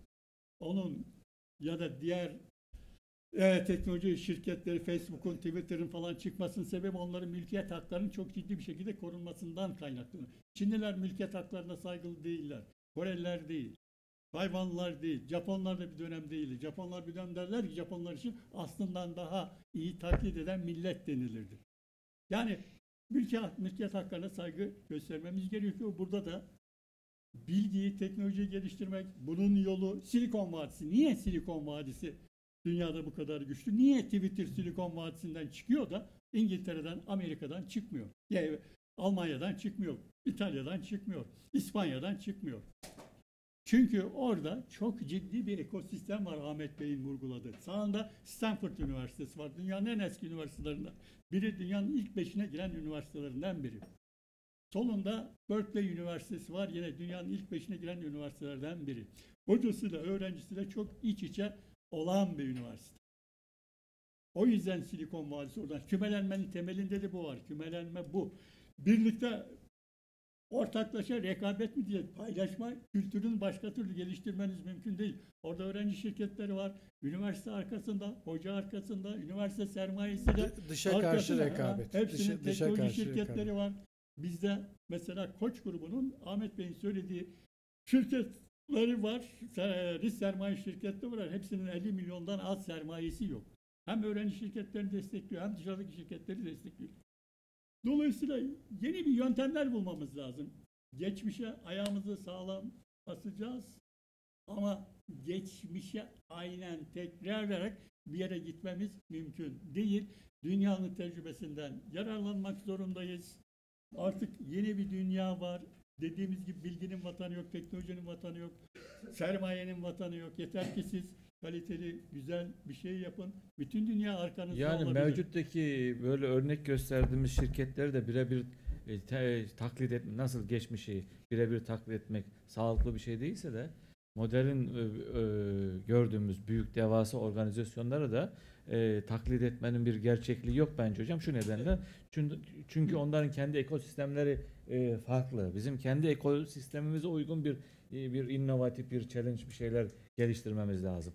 Onlardan istifade etmek lazım. Ama şimdi gençler bazen işte e, şey böyle yaptı Steve böyle yaptı işte Facebook'un lideri böyle yaptı gibi böyle bir e, böyle ne diyelim e, fiktif bir e, yaklaşım hayali bir yaklaşım sonuçları oluyor. O bence bizim kendi dinamiklerimize uygun iki günü denk olmayan bir şekilde bir çaba göstermemiz lazım. diye düşünüyorsun. E, düşünüyorum.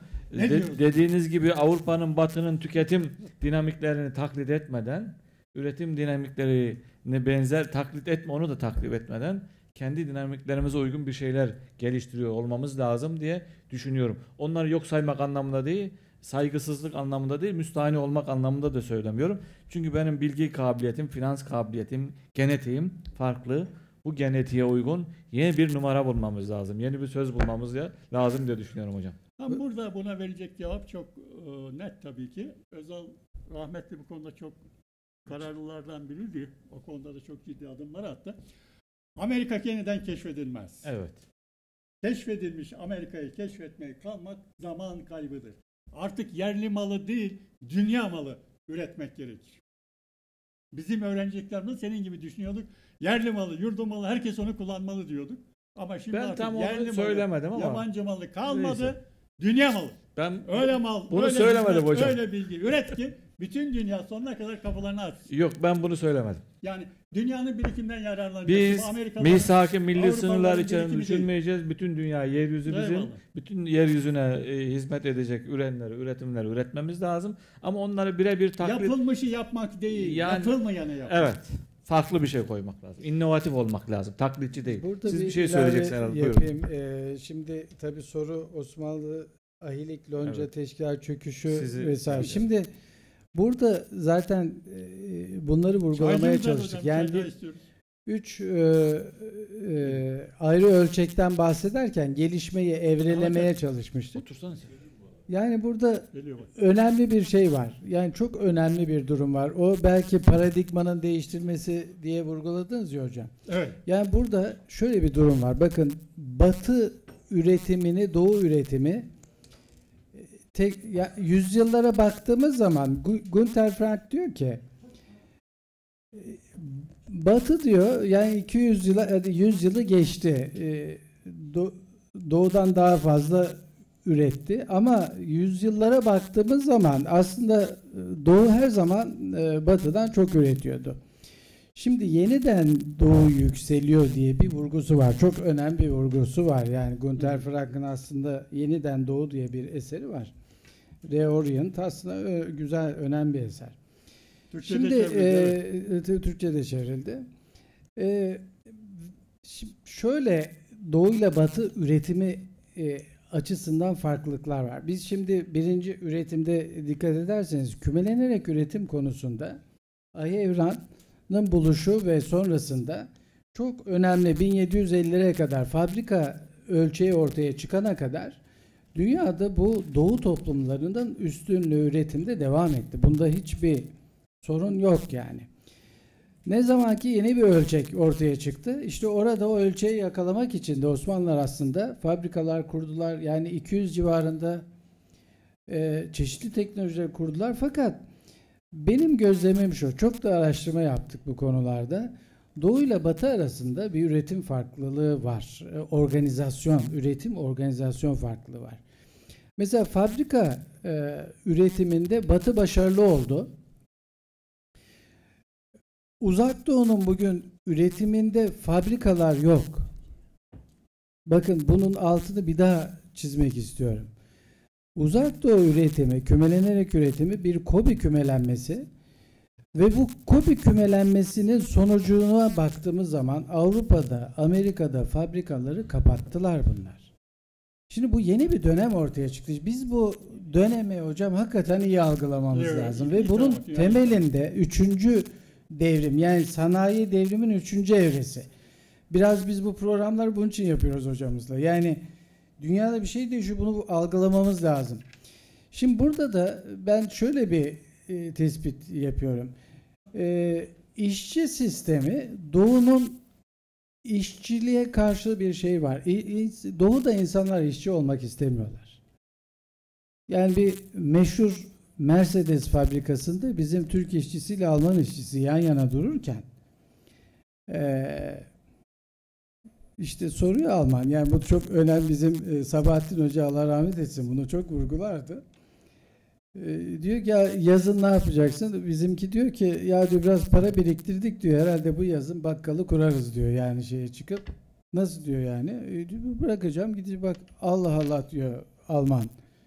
Yani diyor sen böyle bir işi bırakıp bu kadar da e, çalıştık niye? E para biriktirelim diye. E sonra bakkal kurucu. Ya ne işin var senin bak. Şimdi Alman bunu algılayamıyor. Ama bizimki küçük olsun benim olsun bunun peşinde. Yani bunları şimdi aslında e, toplumsal e, ve doğu Bir batı farkında. yani.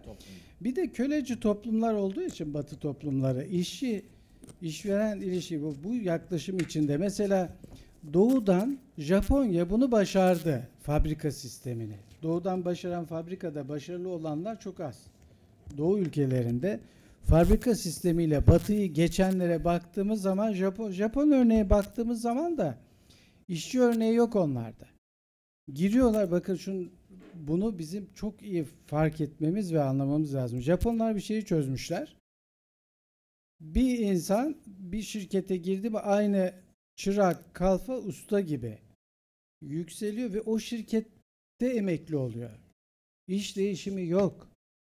Gidip başka hatta onu onur şeyi kabul ediyorlar. Ömür Yani istihdam anlayışı var. ee, orada ona katkı, o, beraberiz yani. Burada patron işçi ilişkisini aşmışlar. Yani Japonların aslında bu e, doğu toplumları fabrikada nasıl başarılı olur işçi, işveren varken diye baktığımızda benim Japonya'da gördüğüm farklılık bu. Nasıl başardı şeyi kaldırdı. Yani aslında Batı'nın üzerinde işçi işveren ilişkisi köle toplumlarına çok uyuyor.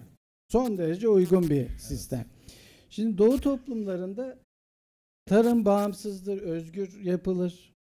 Yani hayvancılıkta öyledir, bitkisel tarımda öyledir. Şimdi bakıyorsunuz batıda öyle bir üretim yok. Yani işte ilk çağdan itibaren e, Aristos'u, Eflatun bütün şunu vurgularlar. İşte şey çalışacak. Çalışanlar, köleler yani çalışacak. Efendiler, aristokratlar yönetecek. Yani böyle bir sonra Buna Avrupa razı mı olalım yani şimdi? Ee, şimdi fabrika Biraz bu şey sistemi e, fabrika bu sistemi aslında batıya da e, toplumsal olarak bu köle işçi e, yani bir nevi işçi bunu e, daha ruhuna uygundu. Doğu'nun ruhuna uygun değildi yani işçi işveren ilişkisi. Bakın yürümüyor yani bu. Yürümez. Ha uzak doğuda niye üretim artışı var? İşçi işveren ilişkisiyle yok. Bakın bütün büyümelerine baktığımız zaman benim tespitlerimi size söyleyeyim. Her öyle. küme her küme yok. De, o- o- o- küme, şöyle büyüyorlar. Her e, küme e, işte kümeleri kurmuşlar. E, kümeler üretim yapıyorlar. Yani yüzde on, on bir büyümeyi nasıl Çin garantileyerek büyüyor? Her kümenin yıllık işte üreticisi belli. Diyelim ki 100 tane e, iş yeri var. O kümenin hedefi bir sonraki yı- yıl 111 iş yeri kurmak ama kapatmamak. Yani bizdeki gibi yani binlerce şirket açıp e, bir o kadarını da kapatmak değil yani. Yılda bakıyoruz biz bizim büyümelere. Birçok şirket kuruluyor. Öbür taraftan da birçok şirket kapanıyor. Yani şu çok verimsiz bir şey. Ee, bir modelde gidiyoruz. Yani burada büyüme modeli içerisinde daha kendimize uygun bir e, kümelenerek üretim modelini e, şey Geliştirmemiz yapmamız, lazım. geliştirmemiz lazım. Yani bu bunu geliştirme e, önemli. Eyvallah E, hocam. bunu yapabilirsek zannediyorum İnşallah. Ahireyi ederim. güncellemiş Hayır, olacağız. Var hocam. mı sorun? Vazgeçtiysen çünkü vakit doldu. Evet. Vazgeç. Vazgeçme sorun varsa sor. Aslında bu sorunun cevabını siz buraya çalışarak Sen Ahmet niye hocam. içeri gidiyorsun? Burada dur oğlum. Bulunuzu bulup gelmeniz lazım. Evet, Peki aldık mikrofonu. Ahmet'e Nasıl? veriyoruz. Sonra s- bitiyor. Son soruyu bırakıyoruz. Göktürk. Şöyle soralım Göktürk ne diyor? Göktürk şey istemedi, Evet. söz istemedi. Tam anlamadım. Sıra buradaydı ama. Osman Buyur, varsa burada. buyur, Osman buyur, Baba buyur, ne diyor? buyur. Ali Karaca. Ben Ahmet Sen Hocam'a bir gözümden soru sormak kaybolmayacaksın. istiyorum. Duracaksın şurada. Biz ileriye giderken bu yeni dünyada batı yerinde mi duracak? Yani bu farkı kapatmanın imkanı var mıdır? Osmanlı'dan bahsetti. Ben de İstanbul'un fethini yazmış bir arkadaşı olarak Fatih Sultan Mehmet Han e, niçin Galata esnafına e, af çıkardı? Venediklilere, Cenevizlere. E, Türklerin ticareti İsmail, Bilmediğinde mi? Çünkü Selçuklu büyük kültür ve medeniyet ortaya koymuştu. Yani Ahi Evren'le beraber işte... sorumuzu sorumuza geçelim lütfen. Evet işte sorum şey, e, biz ileri giderken yani Batı ne yapacak? Batı duracak mı? Yerinde sayacak mı? Peki. Teşekkür ederiz. Buyurun. Evet. evet. Hızlı cevap verelim. 5 dakikamız var hocam. bir Yani soru daha alacağız. Şimdi Bu iş Ahmet Bey, bir- Ahmet Bey istemiyor. Tamam. yani bizim Bitti. kültürümüzün temeli iyilikte, dürüstlükte, güzellikte yarışmadır. İslam'ın temel emirlerinden biri bütün Müslümanlara iyilikleri özendirmektir, kötülükleri önlemektir ve iyilikte yarışmaktır. Bir toplumda iyilikte, güzellikte, dürüstlükte yarışma olmazsa o toplumda gelişme olmaz. Dolayısıyla dünya artık sınırların ortadan kalktığı bir dünya var. Ha yeni bir dünyadan bahsediyoruz. Bu dünyada sınır yok, Tabii. duvar yok, kapı yok. Hiçbir şeye sınır koymanız mümkün değil. O zaman bütün dünyayla rekabet etmesini öğrenecek politikalar, stratejiler geliştirmek zorundasın. Onun için de bütün dünyayı çok iyi tanımak zorundasın. Avrupa'yı örnek alırsan batarsın. Amerika'yı örnek alırsan daha ileri. Çin'i örnek al. Onlara bak ne yapıyor, dünya ne yapıyor ona bakmak zorundayız. Kimse yerinde durmuyor. Herkes bu problemleri tartışıyor. Bu problemler sadece Türkiye'nin problemleri değil. İran'ın da problem, Pakistan'ın da problemi, Almanya'nın da. Al- Almanya durgunluğa gir- girdik diye bağır, bağır, bağırıyor şimdi. İngiltere'nin de problem. Adamlar Kimse yerinde durmuyor ama hocam Ha. her bir çıkışında iniş olacak. Oluyor yani. Toplumsal iniş- kural kanun Ha. bu. Üstad et- Sıra gelecek bize. Hiç kafanı yorma yani. Sıra gelecek. Artık güç doğuya gidiyor. Burada sıra nasıl gelir? Bunun aslında Ümmü bunun cevabını vermiş. Ümmü İslam'ın bir, hepimizin bildiği ilahisi var biliyorsunuz. Gül alırlar, gül satarlar. Evet. Gülden terazi tutarlar, Eyvallah. gülü gülle tartarlar. Çarşı pazar güldür, gül diyor. Formül bu. Formül. Dürüstlük alacaksın, dürüstlük satacaksın. Dürüstlükten terazi tutacaksın. Dürüstlüğü dürüstlükle tartacaksın. Çarşıyı, pazarı, bahçeyi, her yeri, ün- üniversiteyi, hastaneyi, siyaseti, meclisi dürüstlükle dolduracaksın. Allah Çözüm olsun. bu. Çözüm bu. Tamam. Çok Ee, teşekkür ediyoruz. Bir cümle söyleyebilir miyim? Buyurun, Herhalde soru şey olmuştu. Ee, yani gerçi e, şimdi Batı ilim ve teknolojide tabii ileride yani onun şeyi yok. Üretimde sorun yaşıyor. İlimi, teknoloji, marka patenti alan şirket, çok uluslu şirketler uzak doğuya gidiyor. Şimdi şunu çok iyi üzerinde çalışmamız lazım. Şimdi Trump diyor ki biz biz diyor bir savaş içindeyiz. Hani Batı ne yapıyor? Çok iyi özetledi. Kimle savaşıyoruz? Küresel güçlerle. Yani çok uluslu şirketleri kastediyor. Niye onlarla savaşıyoruz? Çünkü çok uluslu şirketler karı dolayısıyla uzak doğuya gidiyor. Amerika'yı bırakıyor. Yani savaş kimle kim arasında diyor? Küreselcilerle vatanseverler arasında diyor. Şimdi Trump'ın o birleşme hemen ondan sonra da Tayyip Bey güzel bir e, reis güzel bir konuşma yaptı yani doğrusu. İki konuşmada çok önemli. Yani burada Batı'nın savaşını iyi anlamamız lazım. Batı geliştirdiği ilim ve teknolojiye sahip onun sanayi mülkiyetini alan e, şirketlerin ülkelerini terk edip gitmelerini yeniden döndürme gayreti içerisinde. Bunun bir savaşı var. Şimdi bu bizi ne bakımdan ilgilendiriyor? Bu şirketler niye e, gidiyorlar? Burada bu savaşın biz ne tarafındayız? Yani biz ne yapmamız lazım tabii üretimle ilgili? Bir taraftan bunu yaparken bunları yani e, gerçekten e, çok farklı bir dünyadayız şu anda. Batı'nın yani benim görüşüm e, üretimdeki bu üstünlüğü uzak doğu yani eğer bu tabi savaşlarla şeyle Çin vesaire gibi oraya savaşlar sızarsa bu gelişme durur. Yani orada büyük bir e, müdahaleler var biliyorsunuz zaten. E, bu üretim durdurulursa o zaman tabii küresel güçler geri dönerler. Trump'ın da istediği bu. Küresel güçleri geri döndürmek çok uluslu şirketleri. Bir izin versen. Hocam estağfurullah. Bu soruyla ilgili söyleyeceğiniz bir şey var mı son sözünüz, Yok, sözünüzden şey önce? olmasın. Peki. Buyur. Ee, Sakıp Sabancı Özdal'ı genel koordinatör olmasını istediği zaman Özal demiş ki bir şartım var. Genel merkezini Adana'dan İstanbul'a taşıyacaksın. Onlar düşünmüşler, taşınmışlar uzun bir süre. Sonra demişler bir bildiği var bunun. Tamam taşıyoruz demiş. Özal'ın söylediği şu. Adana'da büyük olmak, dünyada büyük olmak anlamına gelmez. Adana'daki bir holding, Adana ölçeğini bilir, Adana'yı görür. Ama bir holdingin merkezi Adana'daki, Konya'daki, İstanbul'da olursa bütün bir Türkiye'yi görür. Türkiye ölçeğinde büyür. Bir Türkiye holdingi olur. Ama İstanbul'da büyük olmak, Avrupa'da büyük olmak değildir. Avrupa'da büyük olacaksa bir holding, bir ayağının mutlaka Londra'da olması gerekir. Bir ayağı Londra'da olan bir kuruluş bütün bir Avrupa'yı görür. Bütün bir Avrupa ölçeğinde büyür. Ama Avrupa'da büyük olmak, dünyada büyük olmak değildir. Bir kuruluş dünyada büyük olmak istiyorsa ayağının mutlaka New York'ta olması gerekir. New York'ta olan bir kuruluş bütün dünyayı görür, bütün dünyanın gelişmelerinden yararlanır. Ama şimdi hocam dedik var New York'ta olmak şart. Bu aynı zamanda Delhi'de de olmak gerekiyor. Pekin. Pekin'de de olmak gerekiyor. Çünkü iki ülke dünyanın yarısı. 3 milyarlık nüfusu var. Dolayısıyla yeni dünya böyle bir dünya. Hani yalnız ben yiyeyim diyenlerin dünyası değil. Paylaşmasını bilenlerin dünyası. O bitti. Ortaklık yapmasını öğreneceğiz. Azıcık olsun benim olsun değil, çok olsun hepimizin olsun demesini bilenlerin dünyası. Kazan kazan mantığı geliyor. Tek yanlı kazanç olmaz. O soygundur. Silahla olur. Soru, Soru- soru sorma işi bitti. Son yorumu sen yap. İki kişiye söz vermedim şimdi yaptı Osman Osman abi. Neyse hocam sana şey yaptı buyur. Evet, son Hadi bak. zirvede neler İşgal ettin Gel, gel olayı. buradan anlat gel. Özür dilerim Gel. Bey. Gel gel gel gel Hocam, hocam gel. e, ben bir Gel, soru Yo yo sormak yo istiyorum. yo. Gel Oradan, buraya. oradan sorsun hocam. Buradan soru sormak istiyorum hocam. Soru sorma sen yenilik Mikrofon anlat. çalışıyor Ne yaptınız? Şimdi iki hocamız da yapabilirler.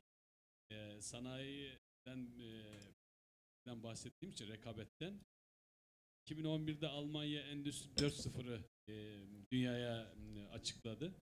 Yani insansız fabrikalar. 90'lı yıllarda biliyorsunuz. Dört farklı karanlık fabrikalar deniliyor. Evet, Evet. üretim uzak doğuya kaydı. Yani iş gücü e, maliyetlerinin düşük olmasından dolayı.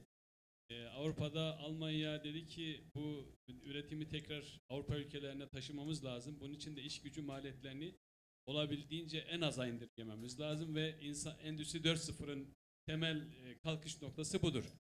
Benim sorum şu, bu Endüstri 4.0'ın gerçekliğe olabilecek midir? E, yani mantıklı bir şey midir? E, bu başarılı olacak mı? Acaba sizin görüşünüz nedir?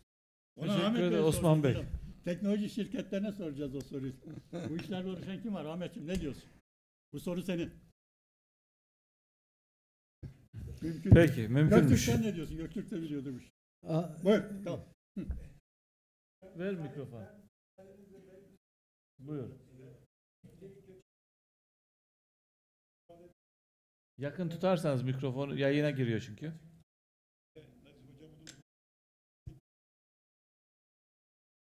Benim sorum şu hocam. Az Önce dediğiniz tek durumda çarşı olmak. Geldiğimiz noktada eee tek çarşı olmaya aday olan çok büyük gruplar var. Hatta yani kaç dükkanla her türlü ihtiyaç nasıl değerlendiriyoruz? Yani kapitalizmin ve Evet, büyük, ticaretten büyük bahsediyor. bastırdığı şey bu. E-ticaretten bahsediyoruz. Tabii artık Evet. küçük dükkanların yaşama şansı yok. Ee, bunu nasıl değerlendiriyorsun? Ahmet Hocama da aslında ilgili bir şey sorduğum zaman çok kısa. Onu belki daha sonra kendisine Teşekkür ederiz. Sağ Yani olun. devletin Amazon'u e, şey yaptığı yani e, frenlediği söyleniyor. Çünkü ne burada kalacak ne başkaları kalacak diye N11 bilmem ne falan. Hakikaten Amazon'la bir an birkaç yaptım. Müthiş bir müşteri ilişkisi. Reklam olmasın ama adamlar çözmüşler. Evet. Yani Göktürk abinin söylediği bu çarşı meselesi o. Adamlar tek başına çarşılar yani. Evet. Ve kâra da odaklanmıyorlar. Çok enteresan. Kârı ikinci plana bırakıp şirket değerine odaklanıyorlar. Dolayısıyla değişik bir şeyleri var. Stratejileri var. Stratejileri var. Yeni dünya Göktürk abi söylerken anlatılmak istediği de bu. Hani öyle bir dünya var ki işte Amazon.com'un piyasa değeri 1 trilyon doların üzerinde. Amazon.com gibi Çinlilerin Ali babası var. Günde 20 milyar dolarlık ciro yapıyor. Amazon.com İstanbul'a Ali Baba'da Kayseri'de bilmem kaç milyon metrekarelik yer aldı diye bir bilgi var. Yani böyle bir dünya var. Bunlarla ayakta durmasını öğreneceğiz. Devletlerle şirketlerin şöyle bir farkı var. Şirketlerin her zaman ensesine bilmek mümkün. Şirketlerin silahları yok, orduları yok. Hakimleri, savcıları yok. Onları her zaman hizaya getirmek mümkün. Amazon.com'da hizaya getirilir. Facebook'ta hizaya getirilir. Facebook çok ciddi tartışmaları var. Üçe bölünür, beşe bölünür. Ama devletlerin elinde ordular var. Onları değiştirmek mümkün değil. O zaman şirketlerin büyümesinden bence korkmamak lazım. Şirketleri her zaman hizaya getirmek mümkün. Müşterilerle getirmek mümkün. Ama işin içine silahlar girince çok daha bedeller ağır olur. O yüzden farklı bir dünya var. Bu dünyaya ayak uydurmak. Tabii bu çok çok uluslu Hukuki şirketleri boyut var. hocam Uluslararası hukuk çok önem kazanıyor. Artık hani her mesela Amazon.com Fransa'da, İngiltere'de vergilendirmeye çalışıyor Avrupa Birliği. İnternet satışlarından vergi alma konusunu netleştirdiler, alacaklar. Yani onları her zaman denetmek mümkün diye düşünüyorum. Ama bizim de önümüz açık. Bizim de Amazon.com olma şansımız var. Bize de kapılar açık. Herkese açık. Çinlilere de açık, Korelilere de açık, Japonlara da açık, İranlılara da açık, Türklere de açık, Araplara da açık. Yeter ki biz gücümüzü silahlarla cephelerde harcamayalım.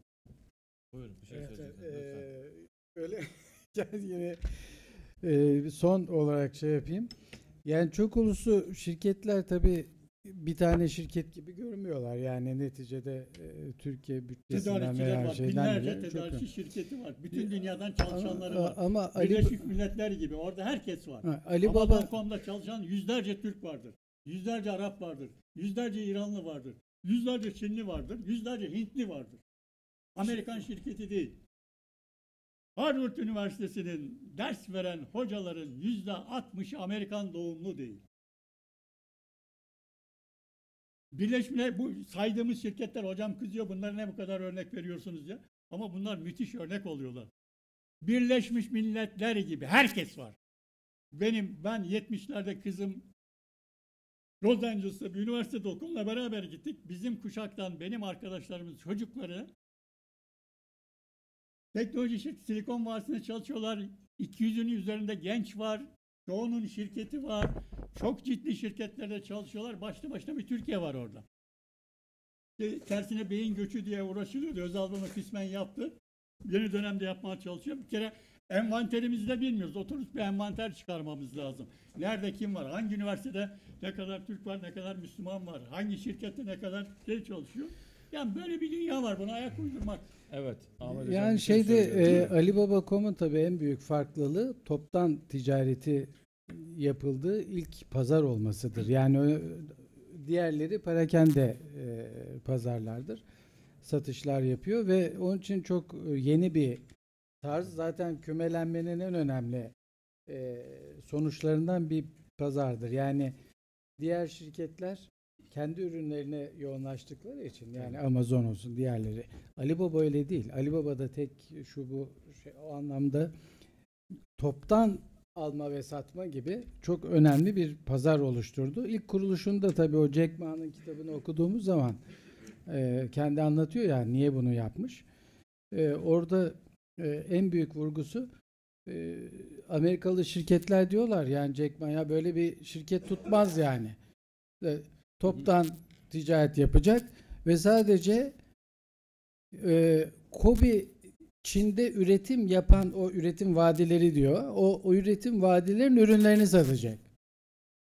E, ve bunu perakende değil toptan olarak satacak. Bu böyle ilkeler koyarak başlamış. Evet. Tam da bizim Mahmut Paşa'dan Çin şeye geçerken bunu başlatıyorlar. 95 2000'e doğru Ali Baba aynı zamanda yani biz o Ahi Baba e, e, şeyiyle e, çağrışımıyla da gidiyoruz bir diğer taraftan ama Ali Baba koymaları da enteresandır. Yani bizi aslında Çinler çok iyi taklitçi.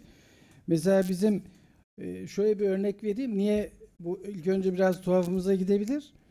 Ama mesela e, bizim Hereke Çin Hereke halısını şöyle kopyalamışlar. Sınai mülkiyette e, şey yapılamaz biliyorsunuz. Hereke halısı nasıl yapıyor? Çin'de yapılıyor, satılıyor. Önce Hereke diye bir ilçe kuruyorlar Çin'de.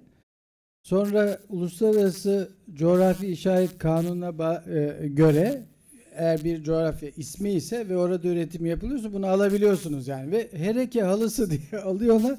Şimdi burada bakın yani o kadar e, şey çalışıyorlar ki hani biz ya olur mu hani Ali Baba'yı Ali Baba niye peki Jack Ma diyorlar ki ya sen bu Ali Baba'ya ismi tutmaz diyorlar zaten. Batı bütün hepsi böyle rapor vermiş. Ali Baba ismi tutmaz bunu değiştir biraz daha böyle batılı bir şey olsun falan adam hayır diyor. Tamam?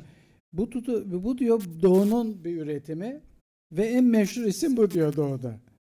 Size karşı bunu yani bunları hakikaten e, bu kümelenik üretim ve onun e, desteğindeki yeni dünyayı biraz e, çok daha iyi algılamamız gerekiyor yani Evet. öyle görünüyor. Çok teşekkür ediyorum. İnşallah bize de Allah e, razı ışık olsun. olmuştur.